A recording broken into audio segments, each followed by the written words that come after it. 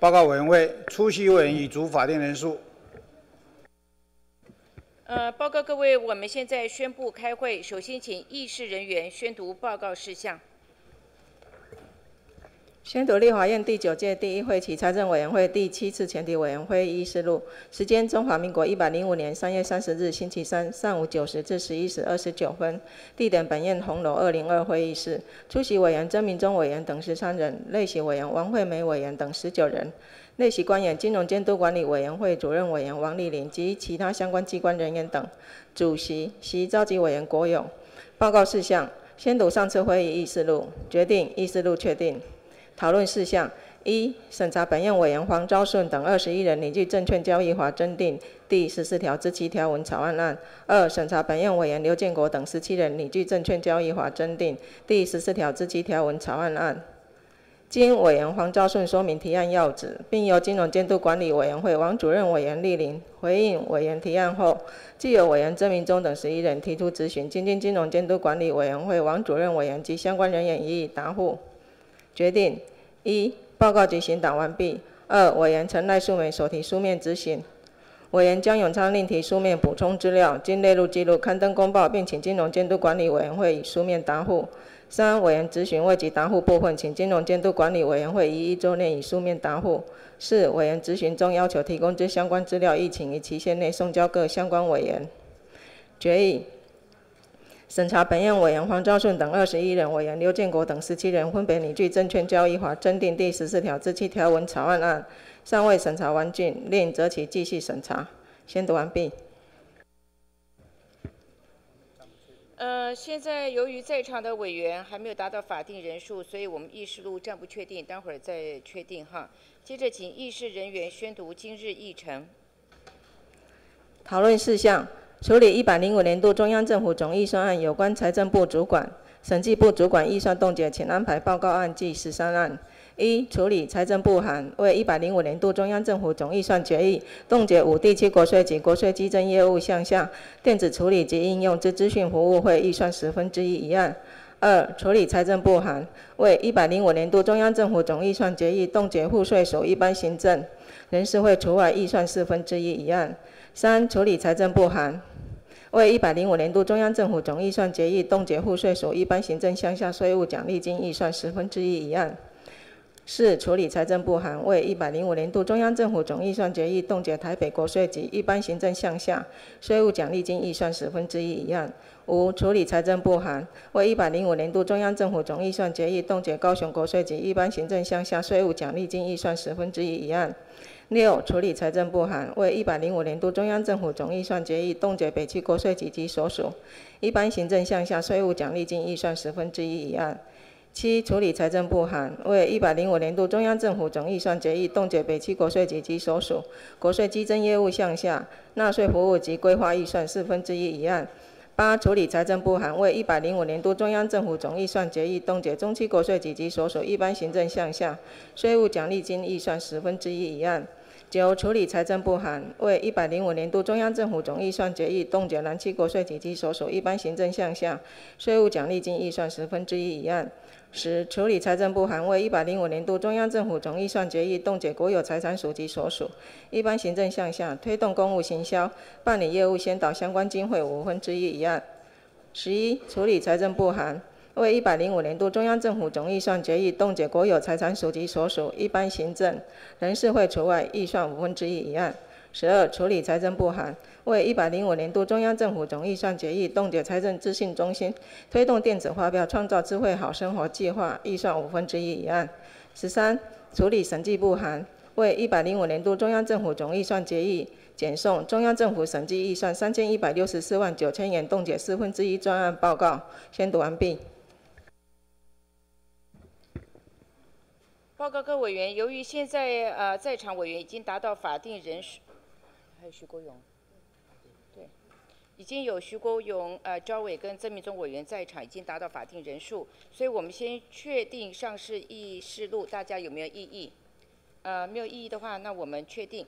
那么，刚呃由于这个今天的议程刚才已经宣读过了哈，那呃我特别跟各位委员呃报告一下。就是我们今天为什么排这个解冻案？第一个呢，因为我们现在这个一百零呃，今年是一百零几年，一百零五年度的这个预算哈执行已经过了一季，现在是四月份了哈，所以我想有些这个单位他对于他的这个预算执行事项那有他的需求，所以我们觉得说现在已经四月份，所以来进行这个解冻啊讨论，否则的话有些单位可能不晓得说这个预算有没有得用，那这是第一个原因。那第二个，当然也有人哈私底下跟我讲说，呃，我们我是国民党籍的，那反正五二零后也不是国民党执政，何必急着帮民进党解冻啊？但是呢，我自己曾经多次表示，国民党的态度就是，啊，既然选举选输了，那我们要尊重啊选举的结果。那我们对于民进党的执政，那么我们一定希望能够予以顺利的协助，呃呃，希望能够协助让他们顺利。所以也不会因此就说让这个预算继续冻结，让大家没有钱可用。那我想这不是国民党的态度啊。所以我们今天也展现了哈我们现在执政党的一个气度。我们对于这个呃行政单位他所需要的这个预算呢，我们今天进行讨论。那这也是主席今天排呃解冻案的最主要两个原因。那第一个呢，由于在场的委员跟我们呃今天。列席的官员，我想彼此都已经熟识了，开已经一段时间了，所以我们就不再花时间介绍。那首那接下来呢，我们就请啊，我们就请这两个单位哈来进行这个报告。那我们采分别报告，然后合并询答的方式来进行。首先，请财政部张部长报告。主席，各位委员。今天大院安排本部就一百零五年度主管预算十二项税出预算的冻结项目来提出专案报告。啊，以下就简要报告如下，敬请各位委员会议支持指教。第一案是啊，五七国税局电子资料及运用的资讯服务费预算冻结十分之一。这个本部各地区国税局的资讯服务费。主要是办理课税资料的委外建档、综合所得税决算申报的委外服务、资讯机房伺服器以及个人电脑等相关资讯系统软硬体设备的维护，这些啊有是跟资料库的查询、电力、网点等资讯线路增补改建等基本维运所需要的支出，这是业务需要核实编列的，而且综合所得税啊。五月一号也马上来了，需要啊办理结算申报，敬请委员支持解冻。第二案是赋税署的一般行政，那赋税署的一般行政主要是处理一般经常性的公务基本行政工作维持，为那行政事务推行以及管理各项的经费，那这个行政经费已经本着尊节的原则。跟业务的需求核实编列，也敬请委员支持解冻。接着下面一共啊，第三案、第四案、第五案、第六案、第八案、第九案，都是赋税署跟五区国税局的税务奖励金预算十分之一冻结。我是不是容许我这几个案就一起报告啊？那税务奖励金是啊，民国七十九年就已经实施到现在。对吸引优秀的税务税务人员，激励士气，提升业务的效能，非常有正面的意义。那一百零二年度，我们对税务奖励金的分配也做了检讨啊。我们对兼任九职等以上的人员，每月领的金额有设限啊，那不得超过一定金额。从原来从百分之三十，我们降低到百分之二十。那大部分现在有百分之八十几。大部分都发给基层的税务工作同仁啊，所以这个呃税务奖励金啊，因为呃对税务工作同仁非常的重要，这几案敬请各位委员来支持解冻。接着是第七案，第七案是北区国税局纳税服务的规划预算冻结四分之一啊。北区国税局的啊幅员比较辽阔，所以他们的宣导常常要采因地制宜、跟公司协力的方式来做宣导啊。那一百零五年度有很多新增的业务，像房地合一课税的宣导、汽机车定额减征货物税的宣导、信用卡载具索取电子发票以及公用事业导入电子发票等等的宣导啊，所以需都需要呃透过这些透过这些经费来把这些资讯啊让民众知道，避免不按法令啊，才使他的权益受损。呃，敬请各位委员支持来解冻啊。接下来第十案跟第十一案是国产署的案子。第十案是国产署的一般行政的宣导经费，啊，冻结五分之一。那国产署啊办理宣导，那也是近年来也是运用了新媒体推动网络的参与，制作文宣的资料。委托专业机构办理民意到满意度的调查等等，用多元化的方式来行销国产业务，让民众了解国产的政策啊，这各项的施政措施已经呃非常的尊洁，也是符合业务的需求，敬请支持。那十一案是国产署的一般行政经费啊，那另外里面提到说，应该要立即收回财团法人。远雄健康生活圈的基金会承租的苗栗后后龙镇的两笔土地，并提出报告才动之。那有关远雄承租的两笔土地，面积一共二十点六公顷啊。那么这些当初在承租的时候所提的计划，是就近国家卫生研究院合作癌症临床中心啊。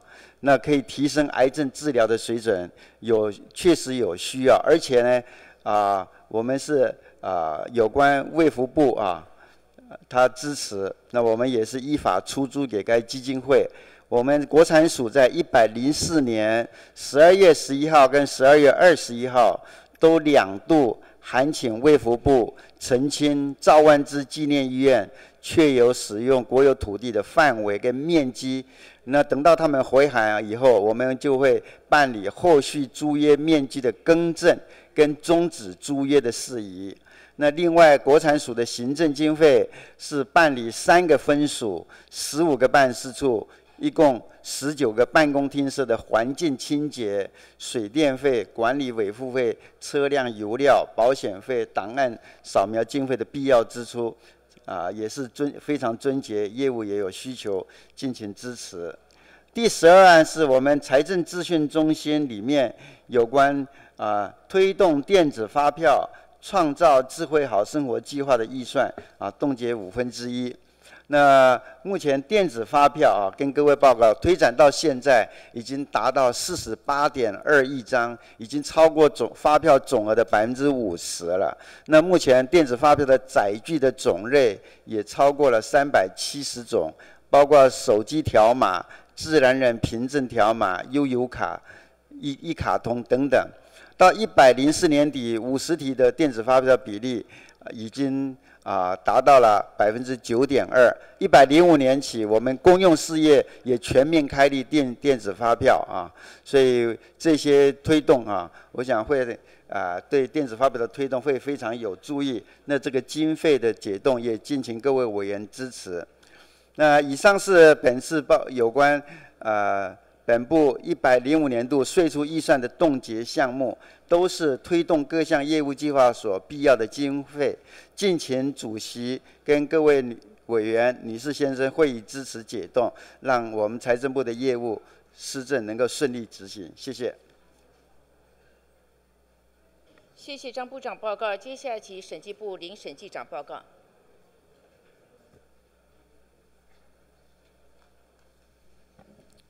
主席、各位委员，大家早。那么，首先要感谢啊委员会啊赵伟还有各位委员来安排有关一百零五年度本部税出预算中央政府审计那么工作计划这个冻结四分之一的这个解冻案。那么，这个解冻案，这个冻结案最主要是因为这个国营事业，那么它绩效奖金的这些编列跟审定的问题。那么，我啊针对这个绩效奖金的一些。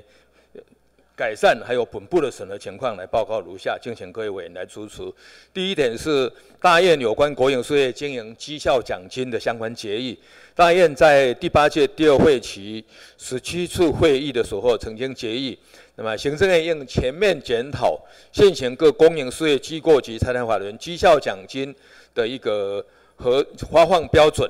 那并且呢，这个核算办法及相关配套方案，在三个月内要送这个立法院的备查。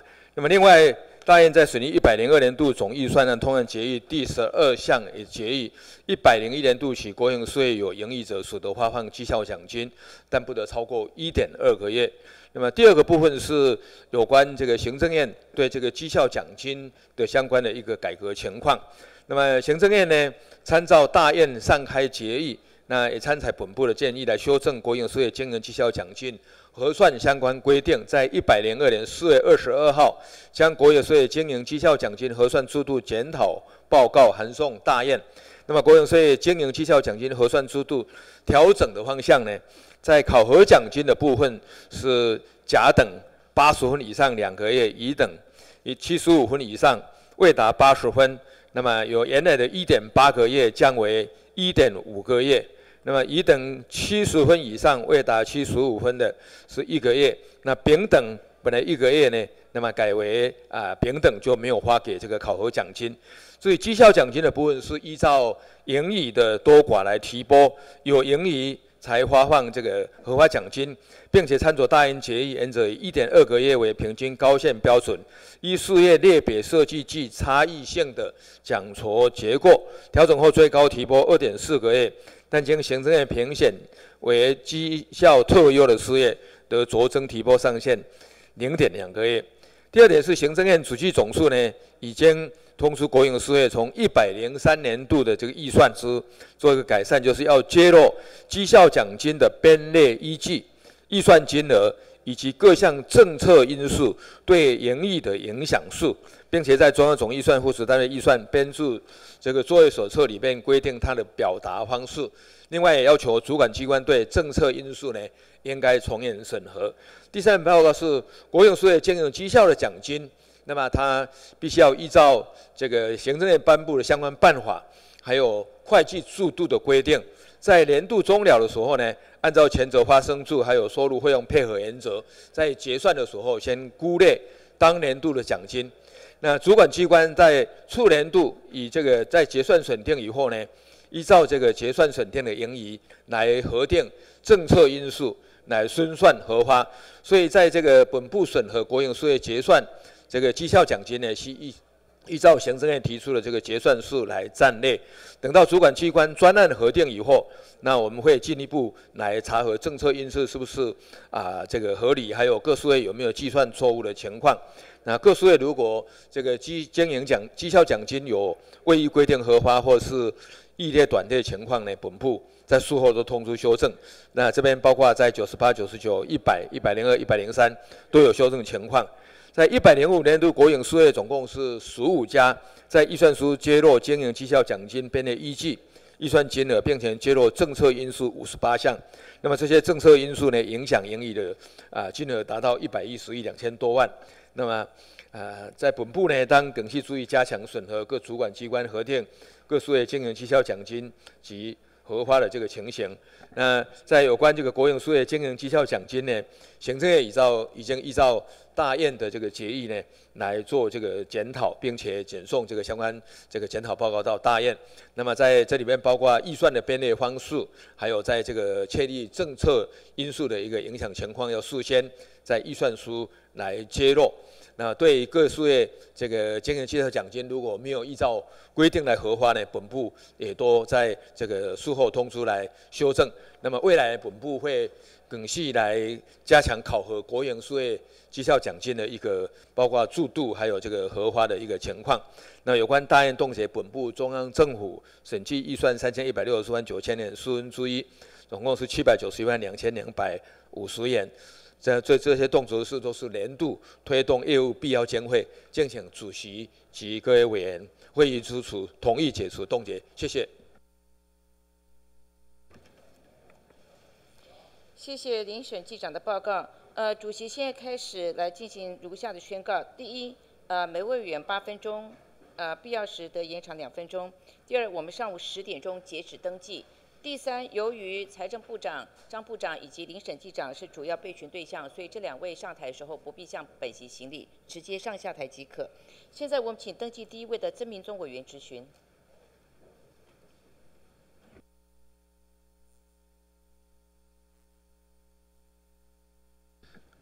啊，主席，啊，各位委员，大家好，麻烦请一下财政部张部长。曾委员早。是，部长早。有关今天的财政部十二个案申请解冻案的部分呢，啊，本席没有意见。接着我们来看下一页啊，有关最近这两天啊，有关巴拿马的有关避税的部分呢，我想请教部长。目前啊，增订反避税条款的目前的进度，法案的进度是怎么样？是我们增订了所得税法四十三条之三跟之四。那由于上一次会期届期不续审，所以我们回来重新修正条文，已经报到行政院，行政院大概很快就要审查了。是，那主要内容是什么？它主要是两两点，一点就是有关控股公司如果设在海外啊，那有关这个控股公司的课税问题。第二个就是实际管理处所如果是在台湾，它虽然公司设在海外，我们也要来课税。所以针对的对象是公司。那呃两个问题，第一个它只涉及到你定在所得税法，所以目的它的范围只有针对所得税。是。那遗产税？不在里面，遗产税它本来就是呃全球课税主义啊，没有涉及的问题，涉及的问题。盈利事业是要登记地在我国，总公司在我国才有全球课税。如果是呃子公司在我国，就子公司在台湾的所得课税而已，所以这差很多了。是，那个人就没有办法。个人如果是我国的居住者，他全球的遗产都需要课税。是。但是我是呃，我是所得税的部分，对个人对所得税个人没有办法。个人是我国的居住呃，如果是个人的话，就中只有中华民国来源所得才要课税，这是税法的问题。所以还避税条款不含个人。是。OK，好，谢谢。看下一页。那部长能不能说明啊？反避税条款呢？只要利弊，因为反避税条款里面呢，啊，海外的公司设的公司，尤其是法人的部，很多是尤其过去。啊，不能到大陆去投资，所以我的理解有将近百分之八十是台商。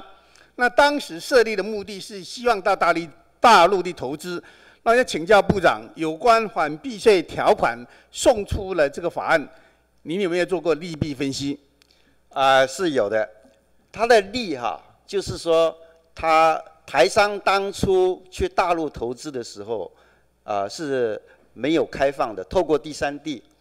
那现在我们两岸租税协协议已经签了，虽然立法院还没通过，将来要能够运用两岸租税协议的租税优惠，那我们已经谈妥了一条，就透过第三地的台商也可以，所以对台商有利的，他将来可以运用这个租税优惠。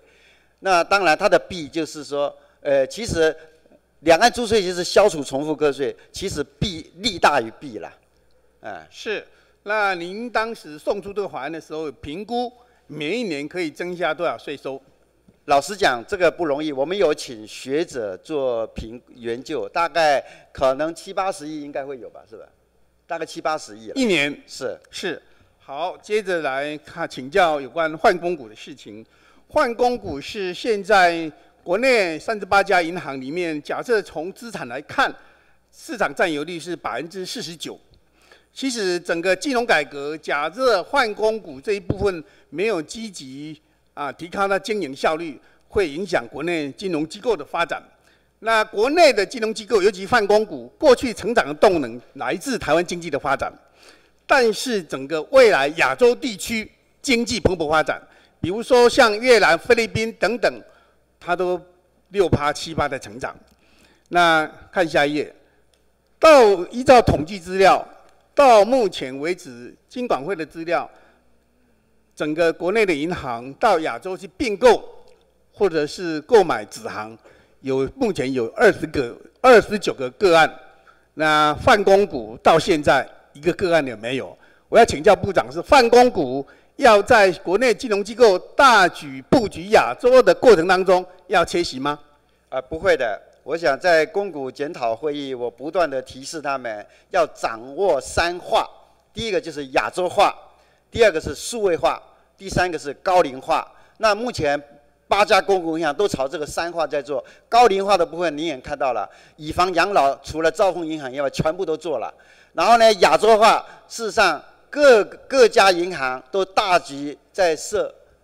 办事处，譬如说在阳光、在柬埔寨、在曼谷啊，跟部长说明，其实设办事处，办事处没有办法做生意，设分行动能非常非常的小，最重要还要去并购，所以我希望，呃，所有的换公股规模相对的大，希望有机会能够进一步在亚洲并购，因为民间民间的银行，所以到现在一个 case 都没有，是不是换公股会在？这一波的亚洲布局里面会缺席，是其实有在进行了。比如说有一家公共银行啊，在进行菲律宾的，只是说有些还没成熟。是，有在进行。好，谢谢。看下一页，刚刚部长也提到了有关数位化的结果。其实电子货币现在很多非常普遍流行。那刚刚部长也提到了电子发票的部分，现在占发票百分之九点二，推了五六年才九点二。但是整个世界发展的趋势，无现金社会慢慢来临。看下一页，你看，其实我们大力推动电子发票，其实已经到了瓶颈。我认为最重要的是要配合整个电子业务、整个金融数位化的过程当中，大举来推。像国内现在，非电子支付占个人消费只有百分之二十六。韩国七十七，中国五十六，新加坡五十三。部长想想看，假设全部这整个资料都电子化之后，所有的地下经济地上化。部长请教，现在地下经济，您是对经济非常专精，大约有多少地下经济？啊，有经济学者估计了，大概百分之三十，百分之二十几、三十几。没有错。对。预估大百分之三十左右。对，部长想想看，假设这地上经济全部地上化，所有的电子支付能够慢慢的提升，部长不怕收不到，不怕收不到营业税，不怕收不到营所税。所以我的建议，其实整个金管会全力推动电子商务的结果，其实受惠的哪个部位最大？当然是财政部，是，所以我希望财政部对推动货币数位化要有具体措施。部长，您这这个方面，其实这种这个有什么好处？第一个，让地下经济地上化，所有的营业税都在你掌握当中。另外，也可以协助金融的发展，这个是一举数得。我想请教部长，您能不能提出具体的推动措施？这个东西比您推。电子发票策略性更高，更有效益。我希望部长能够五二零之前能够提出具体的措施来推动这个措施。呃，跟委员报告啊，刚刚我报告两点。第一个，电子发票部分，刚刚不是说九点二哈，那是指无实体的，整个电子发票四十八点多亿张，占了百分之五十几了。是，只是说，哎，还没有，就是有载具的部分，大概百分之九点二了，无实体发票的部分。那至于货币数位化哈，当然执掌不在财政部，我们全力来配合，看看这个要怎么样推动，我们财政部的工具里面怎么样可以来协助的，是我们来配合。是，谢谢部长，因为我希望你能够要求赋税署跟呃呃财税调中心，比如说你统一发票的设计等等，可以让假设你用电子支付，它。比如说，他的他的得奖率会比较高，或者另外设一个大奖，鼓励民众用电子支付。真的，现在的营业税是三千两百亿。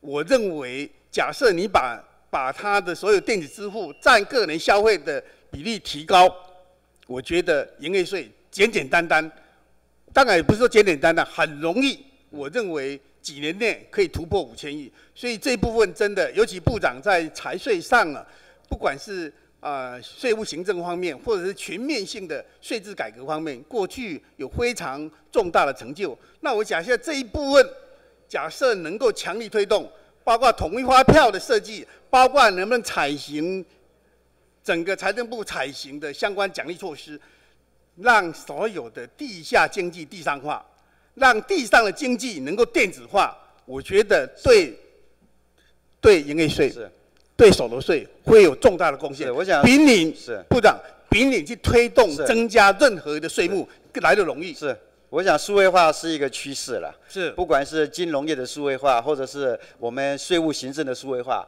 我也请副税署研究了。我说数位化时代的来临，税务行政怎么样的变革，也在做研究。所以我想这方面啊，我们来看看货币数位化未来是怎么样推动，我们怎么样配合。我们来那能拜托部长在是五二零之前有个具体说出来，啊，没问题的。是 谢谢呃，谢谢部长赋税署谢谢研究好了，谢谢。谢谢。请黄国昌委员质询。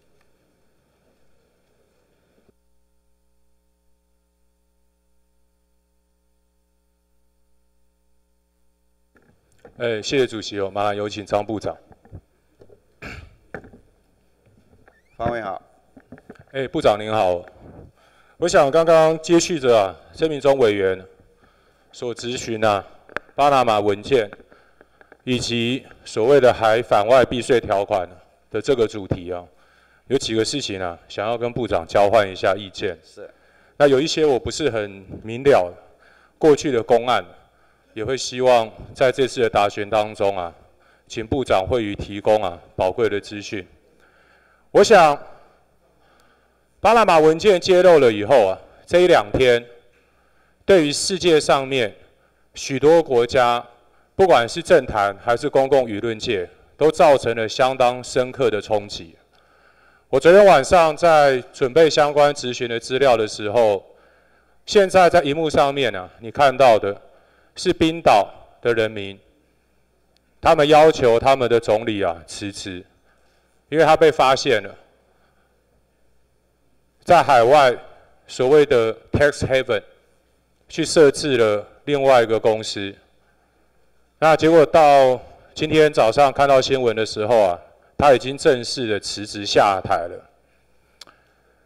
下面这个图啊，是直接啊从国际政府、国际记者组织他们的网站上面啊所揭露下来的。部长，你可以发现哈、哦，在上面最多公司去利用所谓海外避税避税中介服务的地点，在香港。请问部长，您有没有掌握啊？目前台湾有多少公司去使用香港类似的服务来进行租税规避的活动？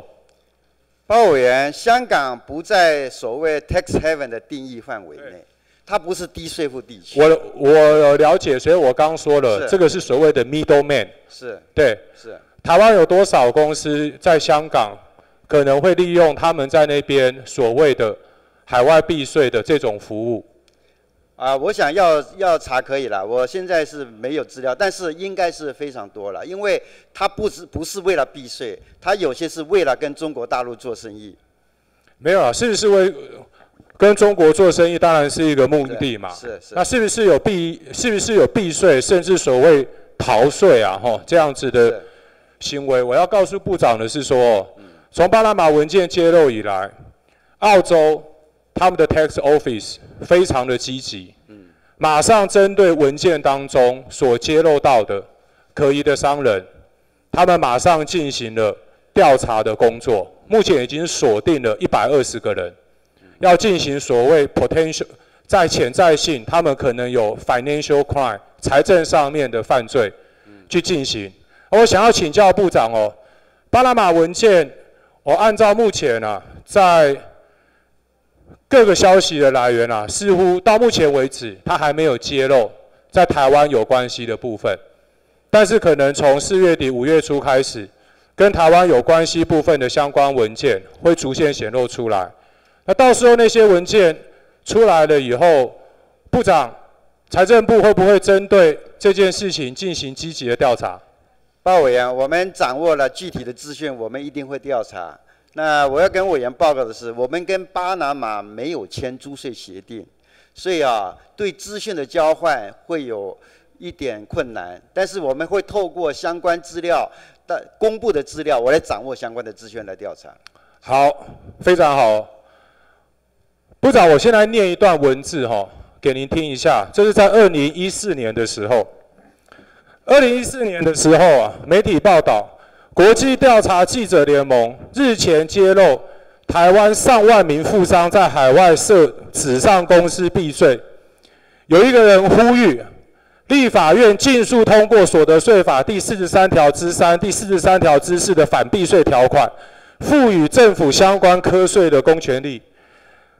我在 PowerPoint 上面啊，把那个姓名隐去啊。部长，您知不知道那位先生是谁？谁做这样的呼吁？是指委员吗？行政官员。我我不清楚。这个呼吁就是部长您做的。哦，不是，我没有呼吁，而是说，我委员是说呼吁什么？呼吁立法院赶快通过反海外避税条款。那是我们的优先法案。所以你有做这样的呼吁吗？是部长，我一直很肯定你啊，理由就在这里啊。是该做的事情要做啊，该说的话要说啊。你做了这样子的呼吁以后，二零一三年四月一号，就在这个大礼堂进行了所得税法四十三条之三之四，所谓海外反避税条款，本院的财委会进行了审查。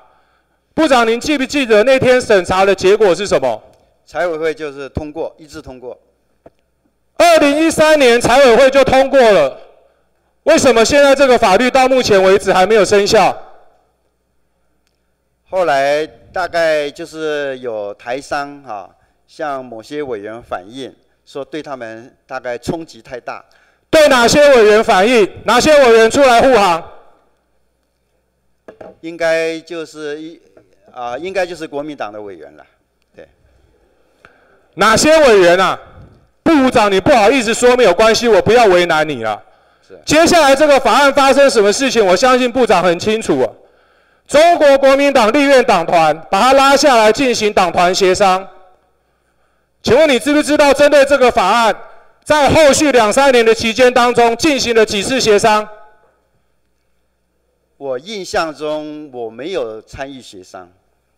我可以告诉你啊，我现在目前所可以查到的资料数字是零，零次的协商。透过这样子一个黑箱机制，把这么重要的法律案拖下来，进入黑箱的密室协商，从此永无天日。这个是不是本会所专业审查完的条文？你们审查的时候很很认真的，我每个字都有看。透过这样的制度，在帮谁护航？报委员不会永无天日，快要又要快要见到日出。这是新的，这个是新的借期嘛？是快要快要日出了，我们又送出来了。本来的法律如果按照既有的立法历程做完的，什么时候可以开始适用？通过，譬如说通过，是不是一百零四年度？当初你们提出来的条文就是一百零四年度嘛？我们也认为那个时候如果真的冲击很大，也可以延后实施了。嗯，没有啦，部长，你现在不用再帮别人再护航了啦。是。这件事情是怎么被埋到立法院党团协商的黑箱当中？我想这些历史的文件啊，已经呈现的非常的清楚啊。到底是哪些人在帮这些在海外设置纸上公司的富商权贵在护航？部长，您刚说你们三月二十三号已经送到行政院院会了，是不是？是。我今天在报纸上面啊，看到行政院院院长张院长说他们会列为优先法案。三月二十三号送进去到现在开了两次行政院院会，院会有没有讨论？不是院会，就是政务委员召集的那个审查会，应该有，我们署长应该有出席过。明天。明天审查。明天会开会嘛？哎，明天。什么时候会送进来？应该我看，我想很。如果明天审查通过，大概下个礼拜四的院会通过，大概就送出来了。院长，你认不认为这样子的一个条文哦，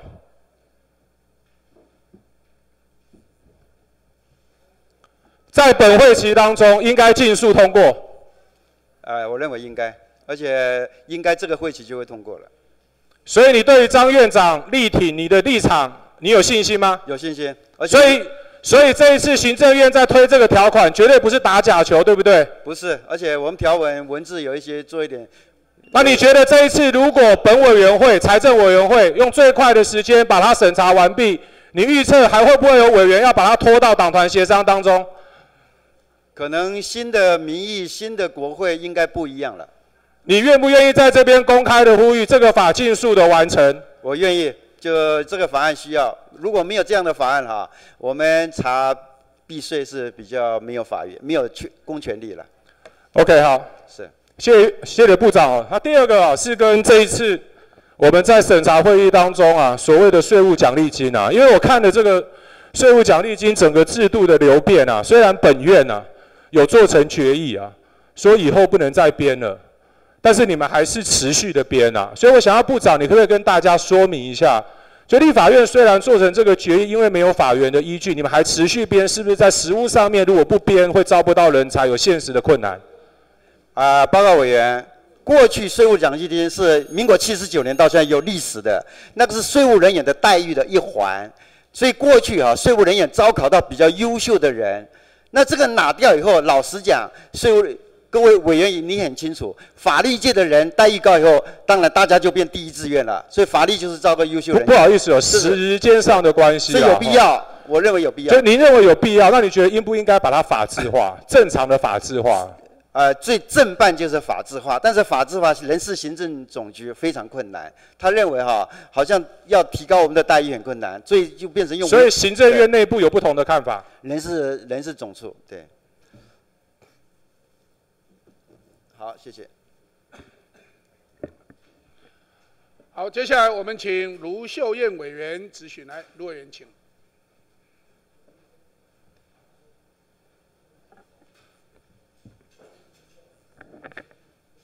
呃，主席，请部长。部长请。卢委员好。呃，部长，我请教一下，有关于巴拿马文件，有关于巴拿马报告，那现在呢？现在正在各国正在解密当中。那台湾呢？现在是由 ICIJ 这个组织，那台湾主要是天下杂志在跟他合作，现在正在进行解密当中。那因为台湾有一万六千笔公司跟个人。所以我第一个我想了解财政部的态度跟进度，财政部会主动的来进行解密吗？我们的态度就是密切注意，主动收集资料，所以我请赋税署跟国际财政司来主动收集这样的资料，目前还没有解密嘛。是嗯，那另外哈，因为国际财政司是你们这几年新成立的组织，是专门负责国际事务的。是。那我的建议是，你们何必说收集资料？因为《天下》杂志现在就跟 ICIJ 正在合作进行解密啊。是。我相信不久的将来啊，不要说《天下》杂志，国内的很多人都有办法去参与这个解密工作，因为这是一个自发性的、义务性的组织。所以我建议啊，财政部是不是主动要跟 ICIJ，因为你们有国际事务司、国际财政司，那么跟天下杂志合作，是因为你们有专业，是所以你们会不会去参与这个解密的工作？啊，这样好不好？我们请国际财政司主动跟天下杂志联系看看，有没有我们参与的空间或协助的空间。你们如果他不让你们参与，你们自己应该跟 ICIJ 联络啊，不是吗？人家一万六千笔的资料在那个地方，他欢迎世界各国来解密啊。好，那你们何必那么消极？我的意思就是说，你们会主动跟不要说天下，要不然你跟因为天下都还是过一手，你们会不会主动跟，我 ICIJ 们了联络解一？下有没有联系的管道，好不好？我们来承诺了解一下。我想请问一下，如果一万六千笔，那基本上它只是名称、公司名称、个人名称的对照，你们如果参与解密的话，如果 ICIJ 表示愿意的话，你们大概多久可以解密呢？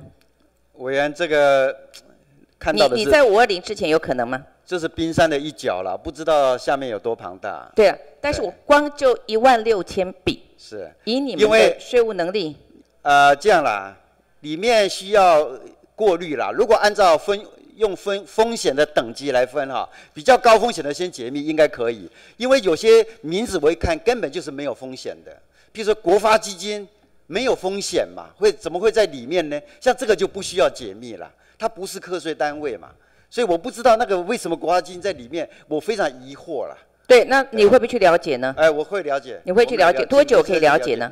请国际财政司收集资料以后，我们内部开个小组会议来了解一下，看看所以你们会成立工作小组，你们会照你今天答复，你会成立一个工作小组。就巴拿马文件啊，成立一个小组来充分的了解，看看说一一万六千笔里面多少是高风险的，有逃漏税的可能的，多少根本没有可能。谢谢你正面回应，所以你要成立一个专责的解密小组，是啊，来进行。那如果你成立的这个小组除了进行解密工作以外呢，那解了密以后，你会进行追查以及补税的工作吗？如果有逃漏税的嫌疑，当然我们就用我们现在的税法的公权力，我们就来追了。是，所以就会启动，是就会启动。那第三个，我想请问的是，那因为呃解密之后呢，我们就会发现。有些公司呢，它在海外设立以后呢，摇身一变变成外资。那外资呢，它用过外资的方式进来炒作护航自家的股票，啊，那所以呢，呃，在这种情况之下，有关于这种资呃假外资的情形啊，那你们会不会也把这些资料？既然你成立一个小组要来进行解密，你会不会跟金管会、跟央行来合作？譬如说，因为金管会管股市的炒作嘛，等等监理的工作，所以呢，哎，这些假外资进来，然后就说哦，哪一家股票啊，这个外资看好，所以最近开始进来多少张什么什么之类的。其实，在巴拿马名单上的话，它明明就是台湾出去公司，所以它的确就是假外资，因为他他根本就应该用国内，他干嘛在国外设？然后摇身一变变成假外资。变成假外资进来，除了税负的省略之外呢，解解免之外呢，它本身也可以规避金管会监理的工作。所以呢，这个解密的资料或参或者这个小组，你要不要把金管会、央行拉进来？因为央行是管资金的进出。包委员，如果要这三个单位哈，可能这个小组要设在行政院就比较恰当了。是。财政部要他们来参与就比较可能。蛮好的点子哈，蛮好的点子。那。那所以在这种情况之下的话，也许行政院应该要针对这个事情设一个小组，因为全世界各国现在都在关注这个事情嘛，哈。是。那好，那所以第一个，你说你要去成立这样一个小组，我们财政部先了解了。对。那如果有相关的要需要建议的，我们网上建议，或者说要把资料 pass 给经管会的，我们再来。即使行政院不设立小组，你自己也应该嘛，它涉及到税的问题嘛，是不是？是。好，接下来我再请教一下哈，小市民财政问题。我跟费鸿泰委员在前两届大力不断的去促成公用事业、水电呐、啊电话啦等等啦、瓦斯，那他应该要开统一发票，不能说这个一般老百一般的民营事业他要去开，要公营事业不用开。那也谢谢财政部从善如流啊，那果然从今年开始啊，国营事业。公用事业的统一发票可以来兑奖，那这期也恭喜啊！那我们也就是让民众这期有一个一千万的，还有一个两百万的。那因为我这我自己本身这么多年来一直致力于这个事情的促成，所以今天能够实现，我非常的高兴。不过这两天也因此我的这个脸书啊，我的服务处啊，很多民众打电话进来，就开始产生。这个疑问了哈，那所以在这边我要请教部长，这个答复很重要啊，因为很多民众在问，因为譬如说像房租，像房东跟房客他的水电啊、水电啊等等瓦斯这些，那有的状况是名字还登记在房东的名下，这个水电的户名还是用电户还是登记在房东名下，可是缴费的人是房客。缴费人是房客，所以到时候财政部是发奖金给谁？这个很重要啊！台湾多少的这个房客跟房东的关系，那你们应该定定出一个准则出来。所以我想请教部长，如果用户名是房东，但是缴费者是房客的话，那请问得奖应该是算是谁得？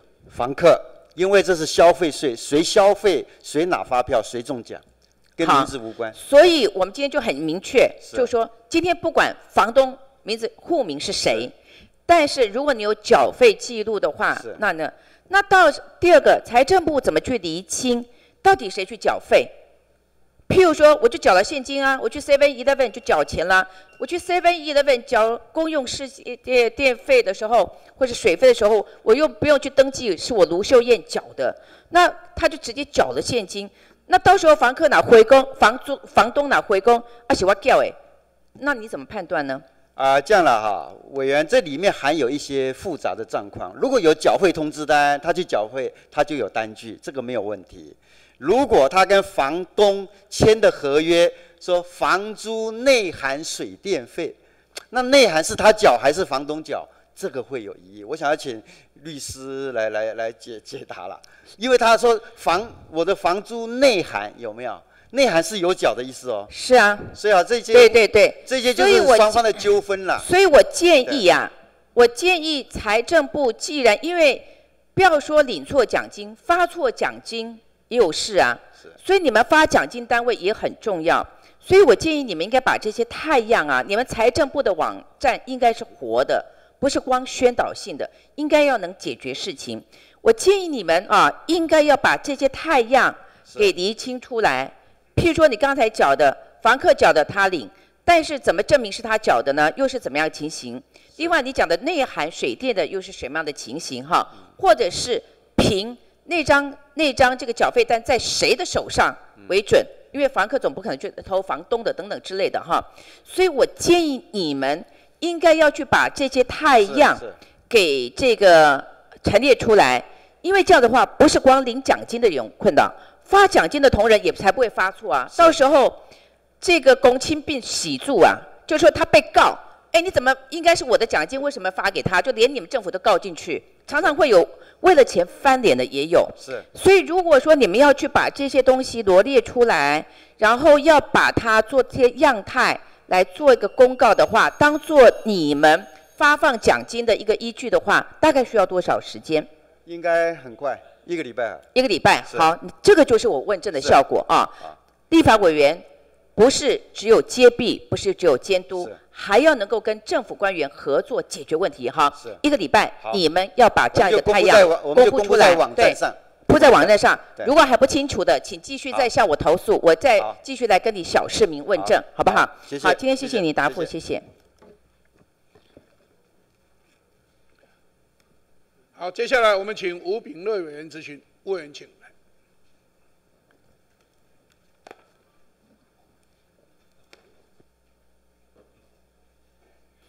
主席，麻烦请财政部张部长。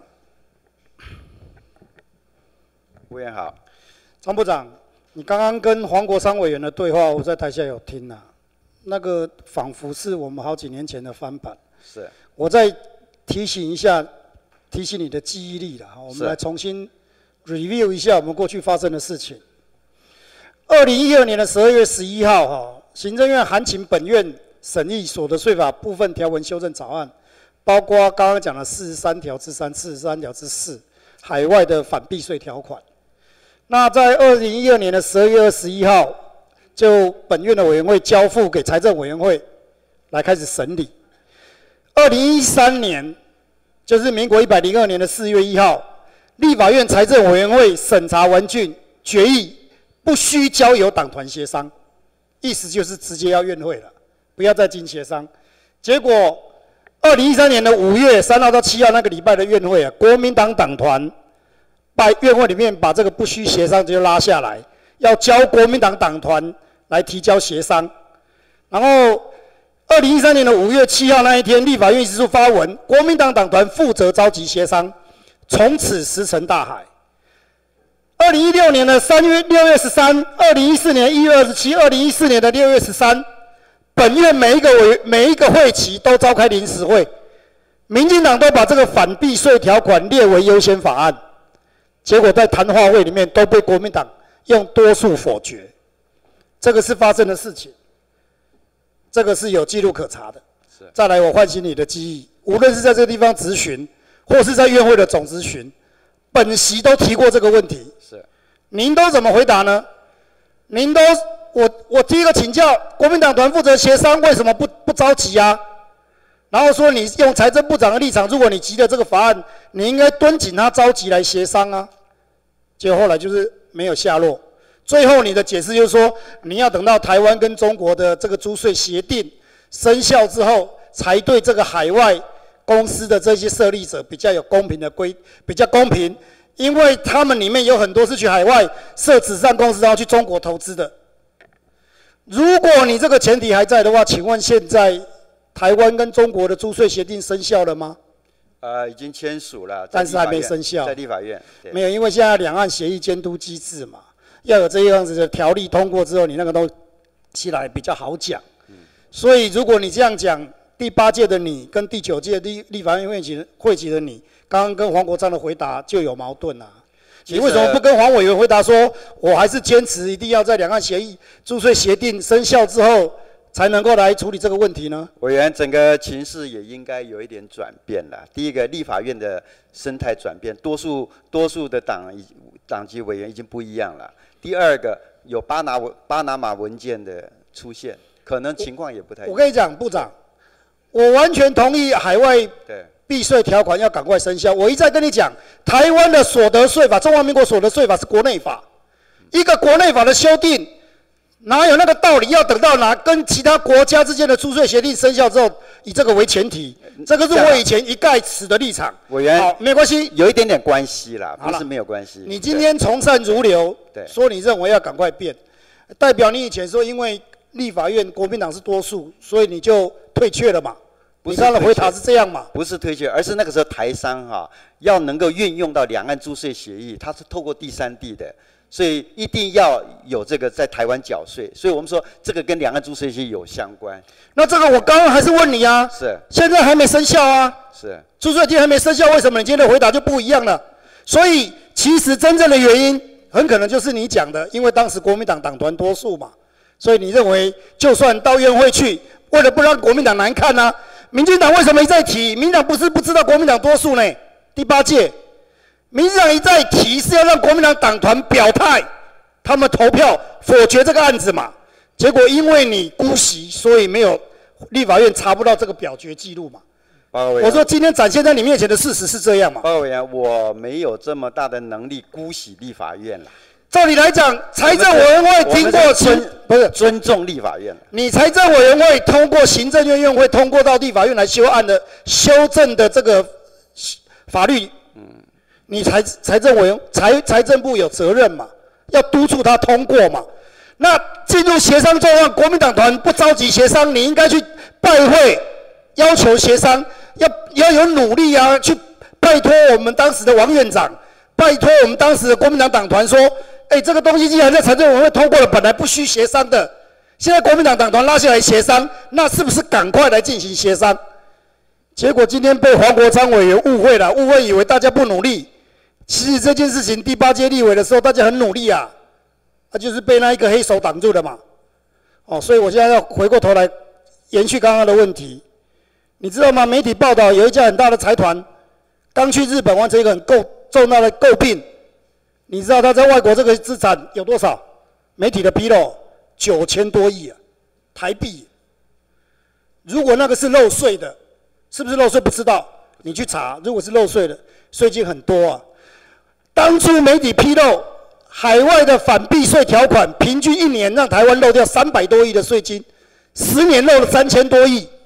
这里面大财团九千多亿的是其中一家，还有好几家被列出来都一千多亿、两千亿的，在海外的资产这么大。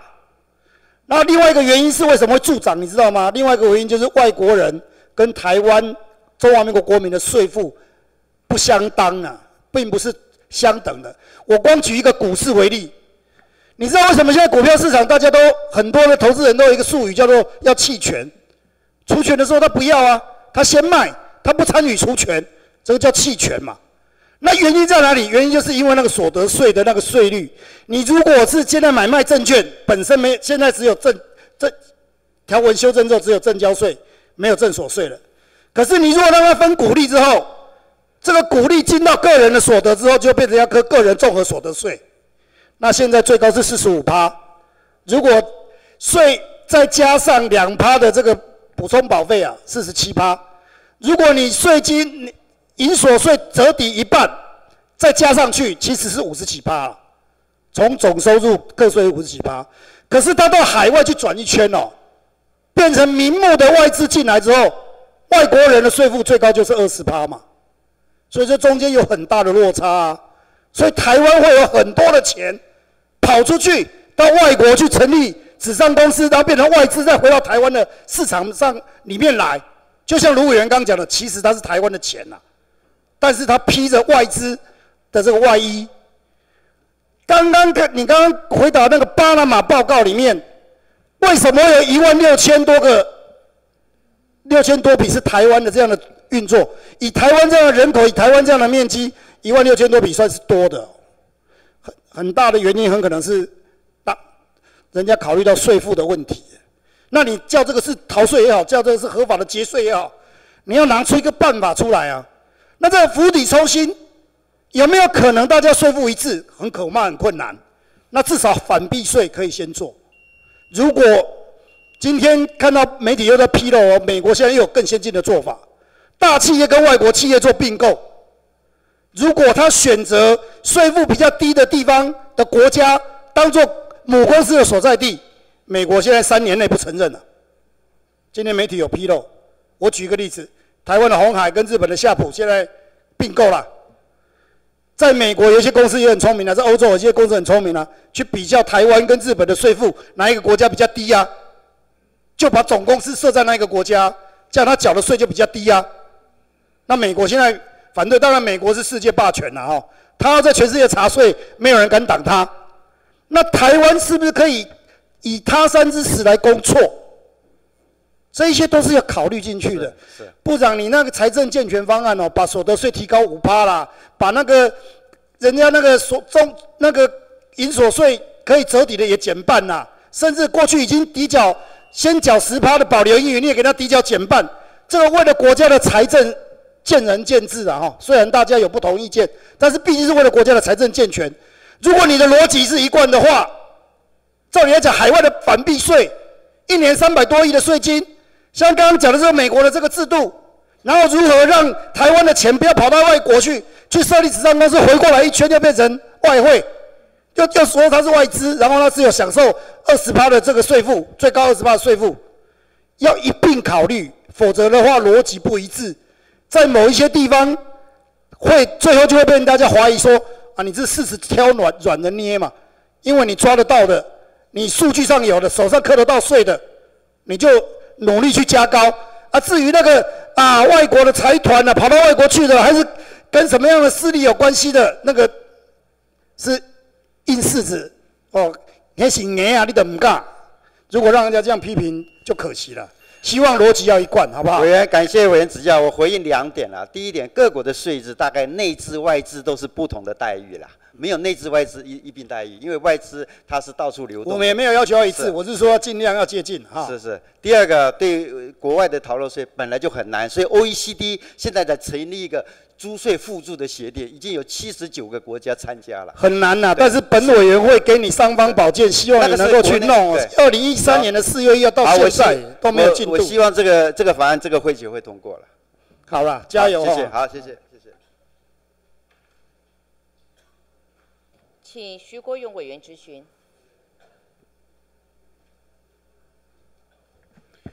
啊，主席各位同志，大家好，好，好，我们请部长了。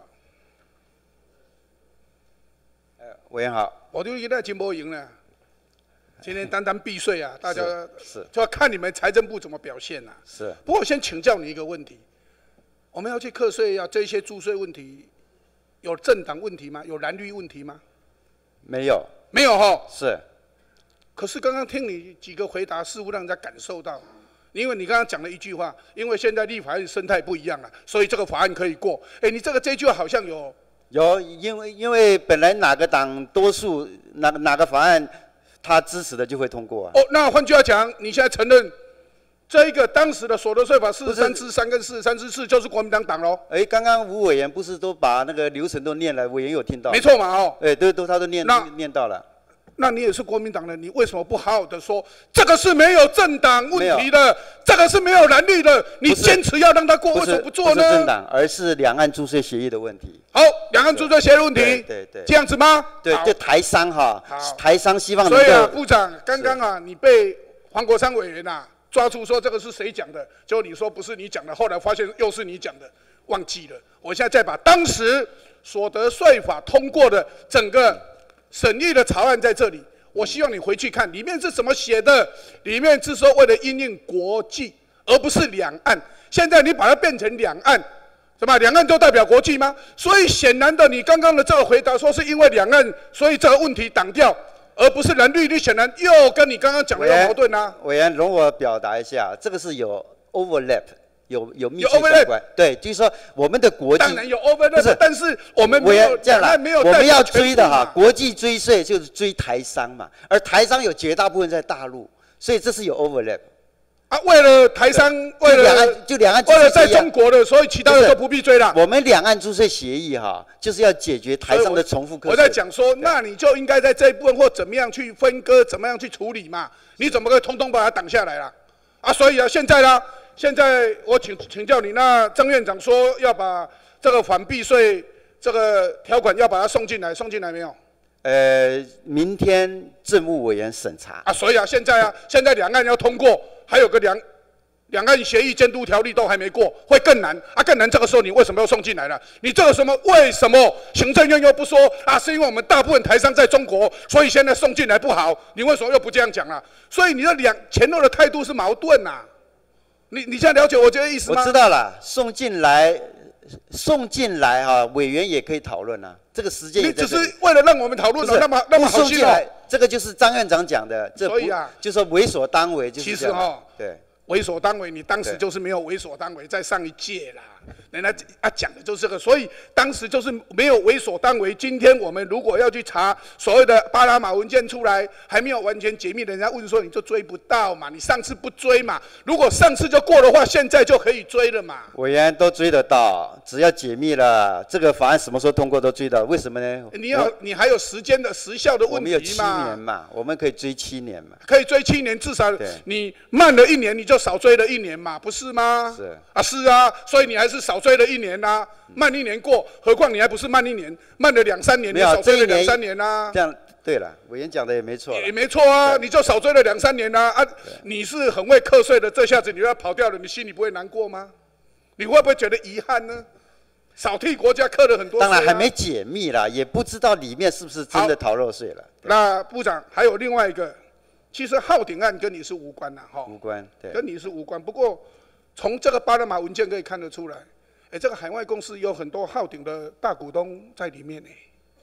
这些人有没有逃漏税啊？其中今天呐，还一周刊呢泄露出来有国民党以前的高官呢，浩鼎里面的大股东，还有前两天的美丽岛电子报写出有某一个委员，哎呀，立法院的可能有公关股，哦，这个事情大条了。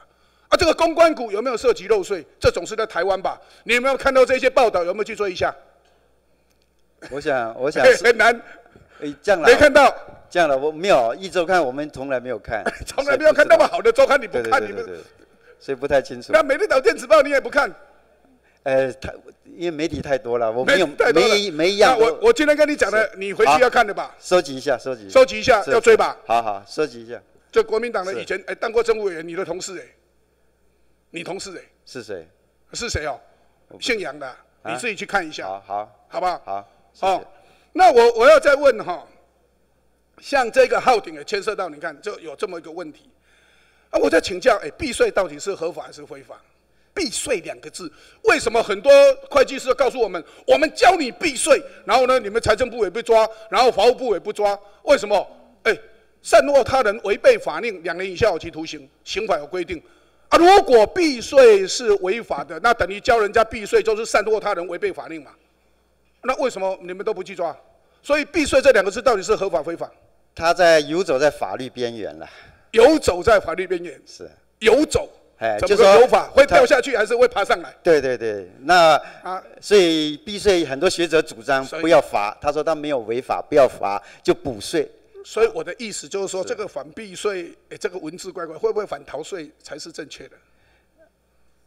呃，国际上目前都用反避税，OECD 哈，他用反避税好。我也没意见啊，这个只是提出来让你去参考一下。那另外，其实刚刚提到国发基金，竟然在那个巴拿马文件似乎人家讲说有出现，你刚刚讲说这个应该不会有问题，哎，未必不会有问题耶。国发基金如果投入了私人的公司，而这私人公司是到海外去发行再回来，换句话讲，它海外发行再回来，我们国发基金有办法对这一家投资的公司，譬如我们有一家电动电动车的国发基金有投资，现在 “bang bang” 叫，它也是三个字，当然用英文讲。那我问你，他到了巴拿马去注册了以后，这些账、这些问题，包括内账外账，我们国发基金看得到吗？如果看不到我们国发基金的投资了以后，要分红的时候拿红利的时候拿利益的时候，我们会不会给这家给这些公司给坑了呢？所以我，国发基金真的就会没有问题吗？还是说里面会不会有人什么什起一跟他一起来？没问题是指说没有逃漏税的问题，没有避税的问题了，因为国发基金它不是课税单位了。当然了，但是他投资了那一家公司是避是课税的单位啊，对不对？那等于是这样子的话，哎，等于我们国家帮他投资还帮他漏税哦。啊，能不能利用这个用国发基金？那是股东啊，可以去查这一些，到海外把这些税查，呃，可不可以有有这些机制？你们财政部应该要好好的跟国发基金是不是要讨论一下？我我讲的这个意思你也懂吧？我了解，我了解。所以你还你头脑在想嘛，要想说怎么回答我嘛？是，你一定是了解才会这样想嘛？对。那怎么办？一时一时想不出来。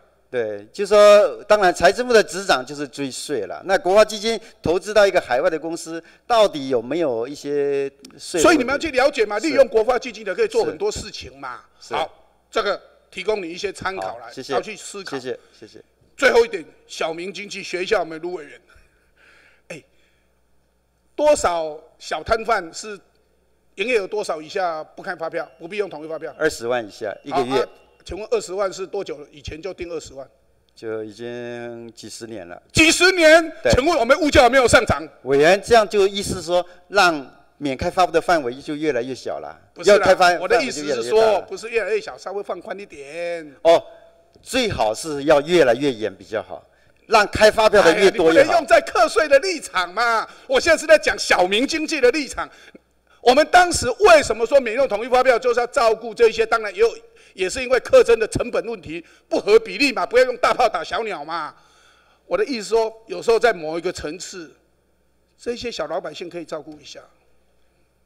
卖一碗蚵仔米线，一缸也卖无几有那些都不要开。当然了，可是现在你们那个呃，我们的整个经济，举个例子啊，几十年前可能我当老师的时候薪水不到两万，现在如果继续还在学校当老师，可能就十万。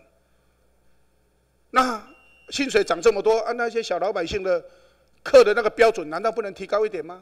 我的意思是这样，不是叫你去通通取消的继续课啊，呃，呃呃，不只？是二十万而已，还有其他的标准，譬如说不不能开发票的，像你刚才讲卖蚵仔煎啦，卖这些，所以对，那个也不开发票，摊贩啦。我意思是说，考虑一下啦，有一你用二十万的标准是稍微放宽，这个是其实是对小民经济是有帮助的啦，考虑一下。哦，这是给你的一个建议谢谢谢谢。那最后一点啊，这个你可能难回答。那巴拿马文件会打到什么？因为里面看到有个英文字，好像跟我们以前的院长名字怎么一样？什么江一化啊？到底中文怎么念？我不知道，英文念出来是这样。你觉得如果碰到这些，你会追吗？我认为他没他，如果真的是你讲的那三个字，又是那同一个人，因为这个不，难道是英文呐、那个对那个同样的名字的人很多啦。很多。遭到不是这三个字念起来一，你 Google 一下一定很多的中文名字啊。啊，你会不会去查？因为众人很多也要去查吧？呃，如果是商人是逃漏税会，如果是学者，没有什么税可以逃漏。哦，好吧。对，如果你说是学者，不要忘记，学者也有很多花招哦。叶世文不要忘记了。哦，叶世文不是学者，他不是学者，他是行政官员。我的意思说，类似这样子。是是。他也不是商人啊。哦，不要以为学者没有在工作。好，好好，谢谢。请赖世宝委员质询。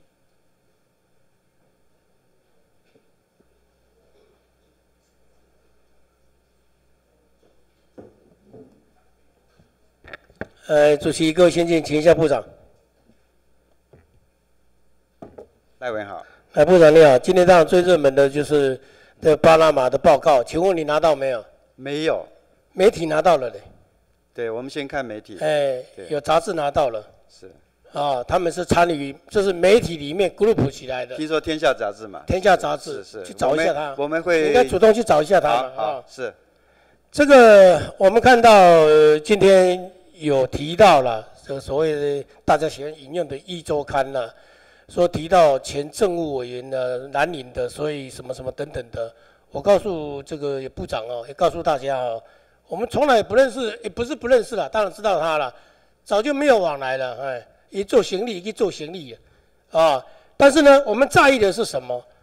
号顶后面有哪些股东不分男女，通通取出来。还有人提到说有什么公关股，最好通通取出来，看哪一哪几个男女的立委有拿到这个东西，他们税交了没有？像他们拿了公关股，要不要交税？可能本质要再去探究一下，他有没有用技术作价入股，还是说有没有用一些他的 know how 哈？嗯，可能里面本质还要探探究。我们来看呢，对，这里面讲说，我看到很好笑，周刊讲说，哇，这个因为是杨世简说南宁炮火熄火，这好好笑的一个一个 statement 的，有点好笑，为什么？因为南宁没有资料的嘛，就简单的嘛，没有资料，谁有资料？大家要看了什么？但是重点在哪里？说到底借券谁在谁在借券，对吧？谁借出来去卖？然后有没有内线交易的问题？我们来比较翁启惠跟蔡英文准总统这两个人在解盲失败以后，翁启惠讲的话，蔡英文的讲的话，翁启惠被打个半死，蔡英文没有啊？为什么？哦，总统比较伟大嘛。总统当选人比较伟大，没有被打半死啊，没有。然后翁秀玉呼说有卖了几张，谁拿出来资料？剪掉吗？很清楚看得到啊。一说刚刚剪掉关系匪浅呐，剪掉。老实讲，这个要检讨一下，要对外讲一下，为什么把资料一起丢出来？今天的周刊也提到剪掉要丢出来啊，都是剪掉再丢的。啊。我们要去要资料，要要。要增加所也要不到，要财要要财政部当然要不到了，要金管要不到，呃，金管会标准答案，哎，送检掉了，送检掉了，一检掉绝对要不到，侦查中不公开，他通通拼命给一周刊了，拼命拼命给媒体啊，拼命给媒体啊，那我们就想说，为什么他给媒体只给翁启惠的相关的家属，为什么蔡英文的家属没有给？蔡英阳，我们现在已经有人讲，为什么老是看到蔡英阳这三个字？巴拿马纸上公司就找到了蔡英阳，请问你哦，纸上公司你刚刚提了哈，避税天堂纸上公司，他们为什么要搞这个东西？为什么？因为公司以登记地为主嘛，公司登记在那里。那巴拿马是大概没有什么所得税的国家。有一个很重要的，除了这个之外，有一个很重要的。当初是因为我们国家禁止直接投资大陆嘛，对，所以大家去那里设转过来去投资，是，所以那我们就问蔡营养啦，公开问蔡营养啊，嗯，他登记了一个避税公司，慈善公司，他后来律师讲说，啊，他是买什么外资金融商品，请问买金融商品要在过外资吗？而且外资也税很低啊。不是他自己买就好了，在这里买就好了，有有必要吗？请问蔡英阳要公开说明，他是不是为了要投资大陆？我们就想嘛，几个原因嘛。第一个投资大陆嘛，第二个假装是外资嘛，第三个涉嫌避税或者逃漏税嘛。还有什么？请问你设时尚公司还有什么目的？当然就就差不多这三个人，没有了嘛。还有国际投资也比较啊，方便。国际投资放那里就是为了逃漏税啊对，税低嘛，就避税好了，不要讲逃漏税，就避税嘛，投资大陆或者避税或者假外资。我们看到这个社会是不公平的嘛，对翁启惠是一个标准，对蔡英文是一个标准，当然不一样啊，要看起来就很清楚嘛。大家就知道说，绿营的把翁启惠当做他的防火墙啊，因为让他不要烧进来啊。我们都知道说，翁启惠的女儿会卖个十张，蔡英养的家族，也就是蔡英文的家族，那时候难道不会上下一下也卖了一阶？难道不会吗？投资公司难道不会吗？这个资料我们是找不到啊，各位，找不到这些资料嘛？你有没有资料？不，当然当然没有，啊，没有。当然不会。啊，对不对？这个就看尽管会把资料通通给剪掉了，要跟他讲，他还说各自不能讲。可是为什么一直刚一直丢出来呢？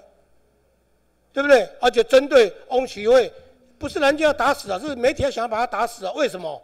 筑一道防火墙嘛，保护蔡英文嘛，就这么简单嘛，道理很简单啦、所以我们就是提了一个问题啊，媒体都这样想啊，为什么到这个社会对翁启慧跟蔡英文是不同标准呐、翁奇威就把他打死的样子，蔡英文没有啊，轻轻放下，为什么？资料都是被剪掉保护住啊。你说现在剪掉不是国民党执政吗？嘿，这个就好问题了。为什么国民党执政底下剪掉是这么样子配合绿营呢？我们也是要问这个问题啊，对不对？事实就是如此啊，难道不是吗？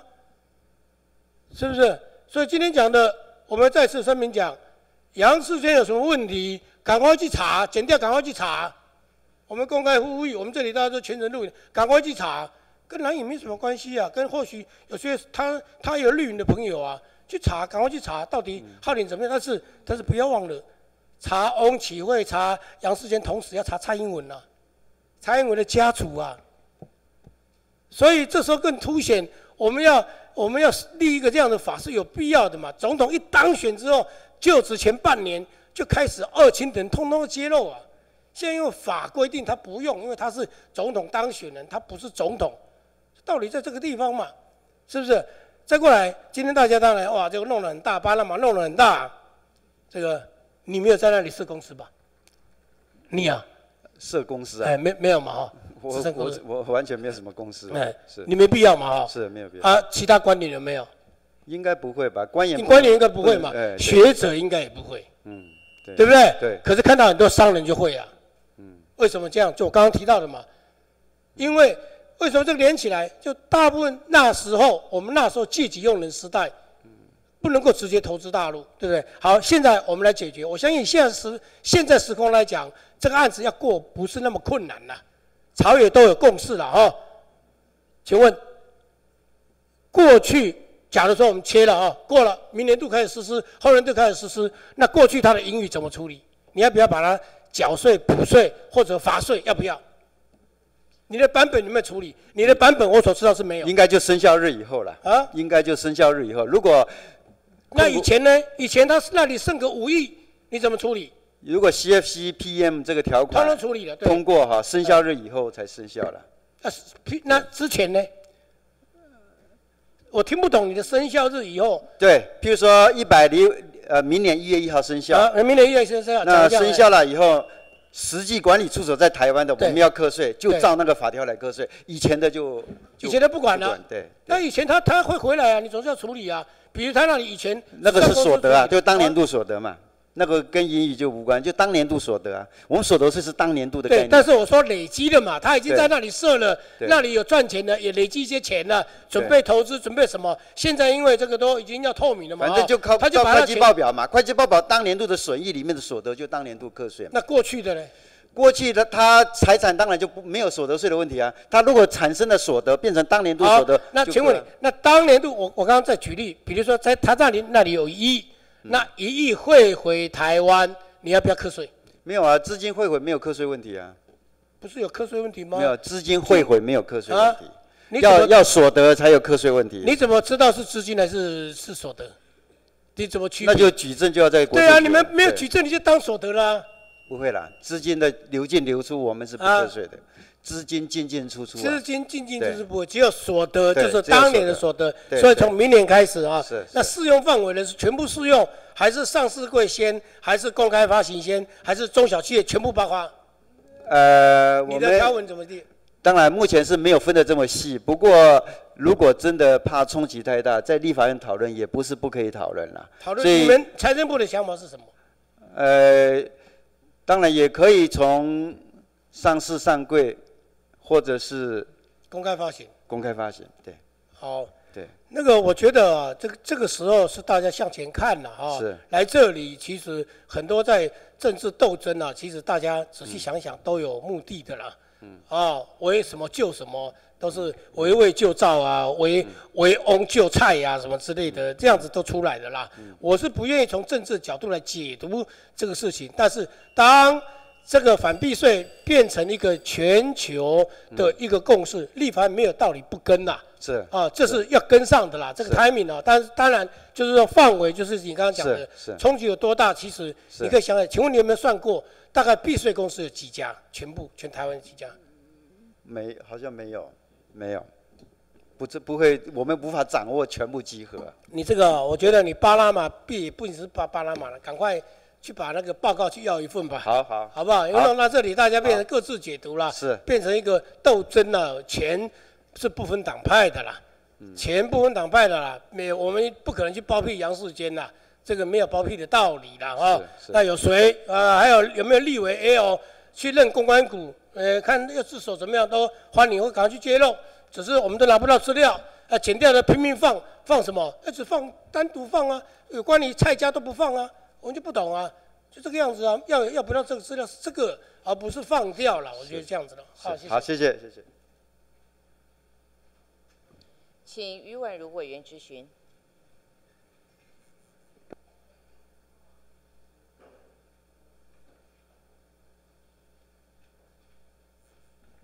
嗯，主席好，各位先进好，然后呃，可不可以请部长上台？哎，委员好。部长好哈，就说哈呃，国安基金我们现在已经打破了一个新的记录了哈，就是史上最长的哈这个护盘的日数，如果到达今天为止，大概是两百二十六天；如果到四月十二号就预期的这个例行性会议的话，是两百三十二天。那另外，在两千年政党轮替之后，这也是呃这个国安基金就是护盘最高档的一个记录，就是七千六百七十五点哈。下一页。那本席看了一下哈，这个呃可以从这个后面我们整理的这个表可以看到，就说从两千年国安基金开始呃护场之后，好，那其实从来没有任何一次超过这次这么长的一个天数，好。那本席想要先问。呃，部长就是说，呃，最近这个第一季的这个绩效快出来了。根据一月十五号颁发的这个绩效报告，我们账面亏损是四亿元，投资了一百九十亿元。那第一季这部分，我们有没有就是增加投资？报告委员，这个我们都不能泄露。那我们有没有赚？啊我们有赚吗？四亿呃，元的亏损有补回来吗四？月十二号的会议就会揭露了。四四亿元的亏损有补回来吗？呃，委员，我想这些都会很快，不到不到一个礼拜，委员就会知道了。我现在就在问你啊，反正就已经剩下一个礼拜啦。当然是，我呢只只只能说是正的啦。正的对。好正的。好，那我想再下一页，好，我想了解一下，就说哈，目前哦，根据国发国安基金的这个管理条例第八条哈，呃，目前护盘还符合哪些条件？就是上面那几个条件，上面这几个条件，就是国内外啊，你说目前是吧？目前啊，当然那是委员们的决定，他们认为哈，选举刚结束，如果退场的话，会大概就第二款，会显著影响民众信心啦。是我了解哈。是那第三页，下一页。那我记得就是说哈，一月十八号的时候，呃，吴当杰曾经说过哈，会依据这个呃时事哈来召开这个临时会嘛，好来决定说要不要继续护盘。好，那刚刚部长你也说了，这个进场退场哈是这个会开会去讨论的嘛？那为什么这段时间明明没有重大因素，我们没有召开临时会？不是，委员，您的意思是说召开临时会是要进场，还是要召开临时退场？要讨论退场或进场啊？没有，我有有打电话问，用电话询问一些委员，一些委员说没有必要召开。没有必要召开的，没有必要召开，为什么？原因是什么？呃，因为四月十二号就快到了，所以不需要了。哦而且委员都要卸任了。嗯哼，可是上次三月九号，曾明忠曾委员就咨询过这个议题，哈，对，到现在有为止，都大家都觉得没有必要召开，是所以就继续护盘，是不是？没有错。好，那下一页哈，就说呃，我得讲就是呃，我知道说要国安基金退场这件事情，很多人可能觉得不讨好，因为要帮这个呃小市民啊，这个就是为了要帮助他们嘛，所以才要去稳定这个金融市场的秩序哈。但是我们办公室做了一些研究调查哈，也给部长看一下。就自从去年八月二十四号决定护盘的时候，哈，这个指数是七千四百一十点，大涨到八千六百五十七点，涨幅高达百分之十六点八三。外资它搭国安基金的轿子，累计买超哈，就每个月的累计的买超达一千三百亿。好，那指数大涨，外资大卖，但是代表散户投资人的余额融资余额余额却只有增加六十二亿，换句话讲，只有增加四点七趴。我们在看了今年第一季哈，这个呃融资余额其实只有增增幅只有一点二趴。换句话讲，好进出的都是外资。其实我们想要保护的这个散户都已经不敢进场或不想进场了，没有诱因了哈。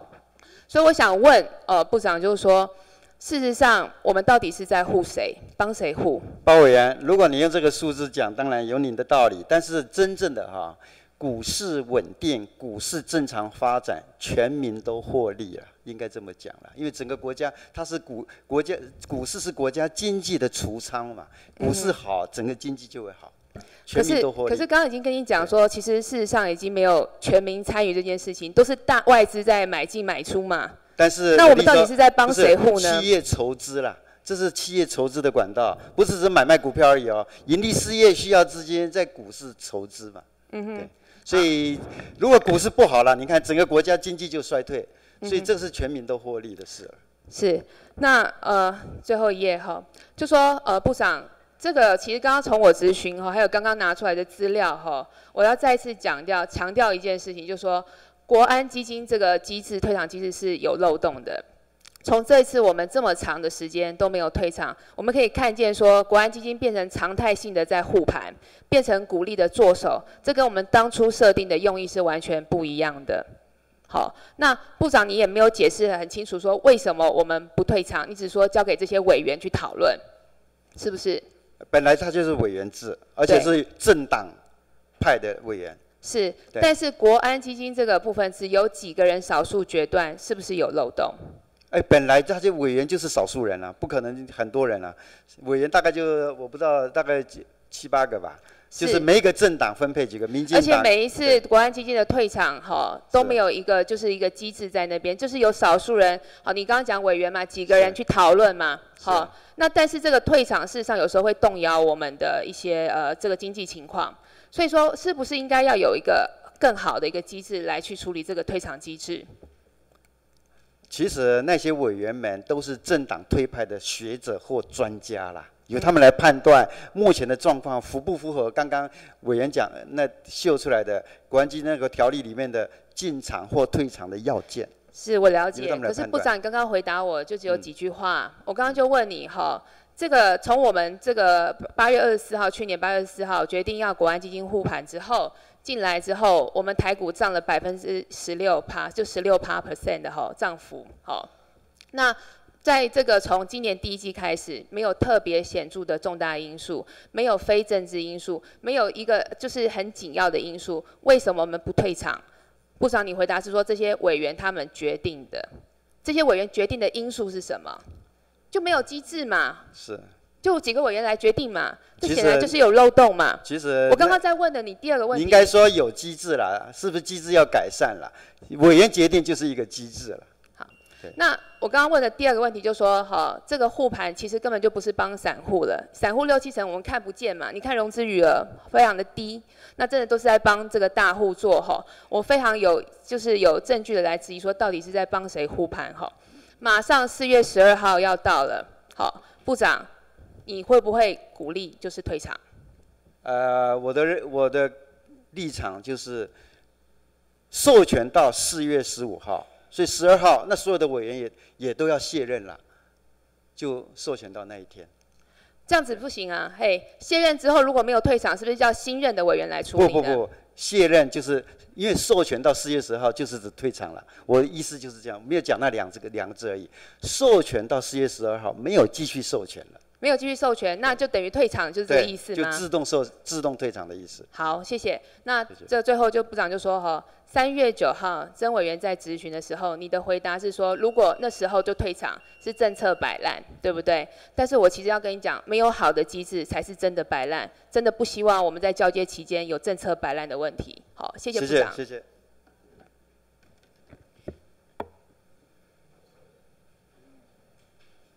主席先跟各位委员报告一下哈，我们在费宏泰委员呃质询之后呢，要休息哈，要休息。现在请李议员委员质询。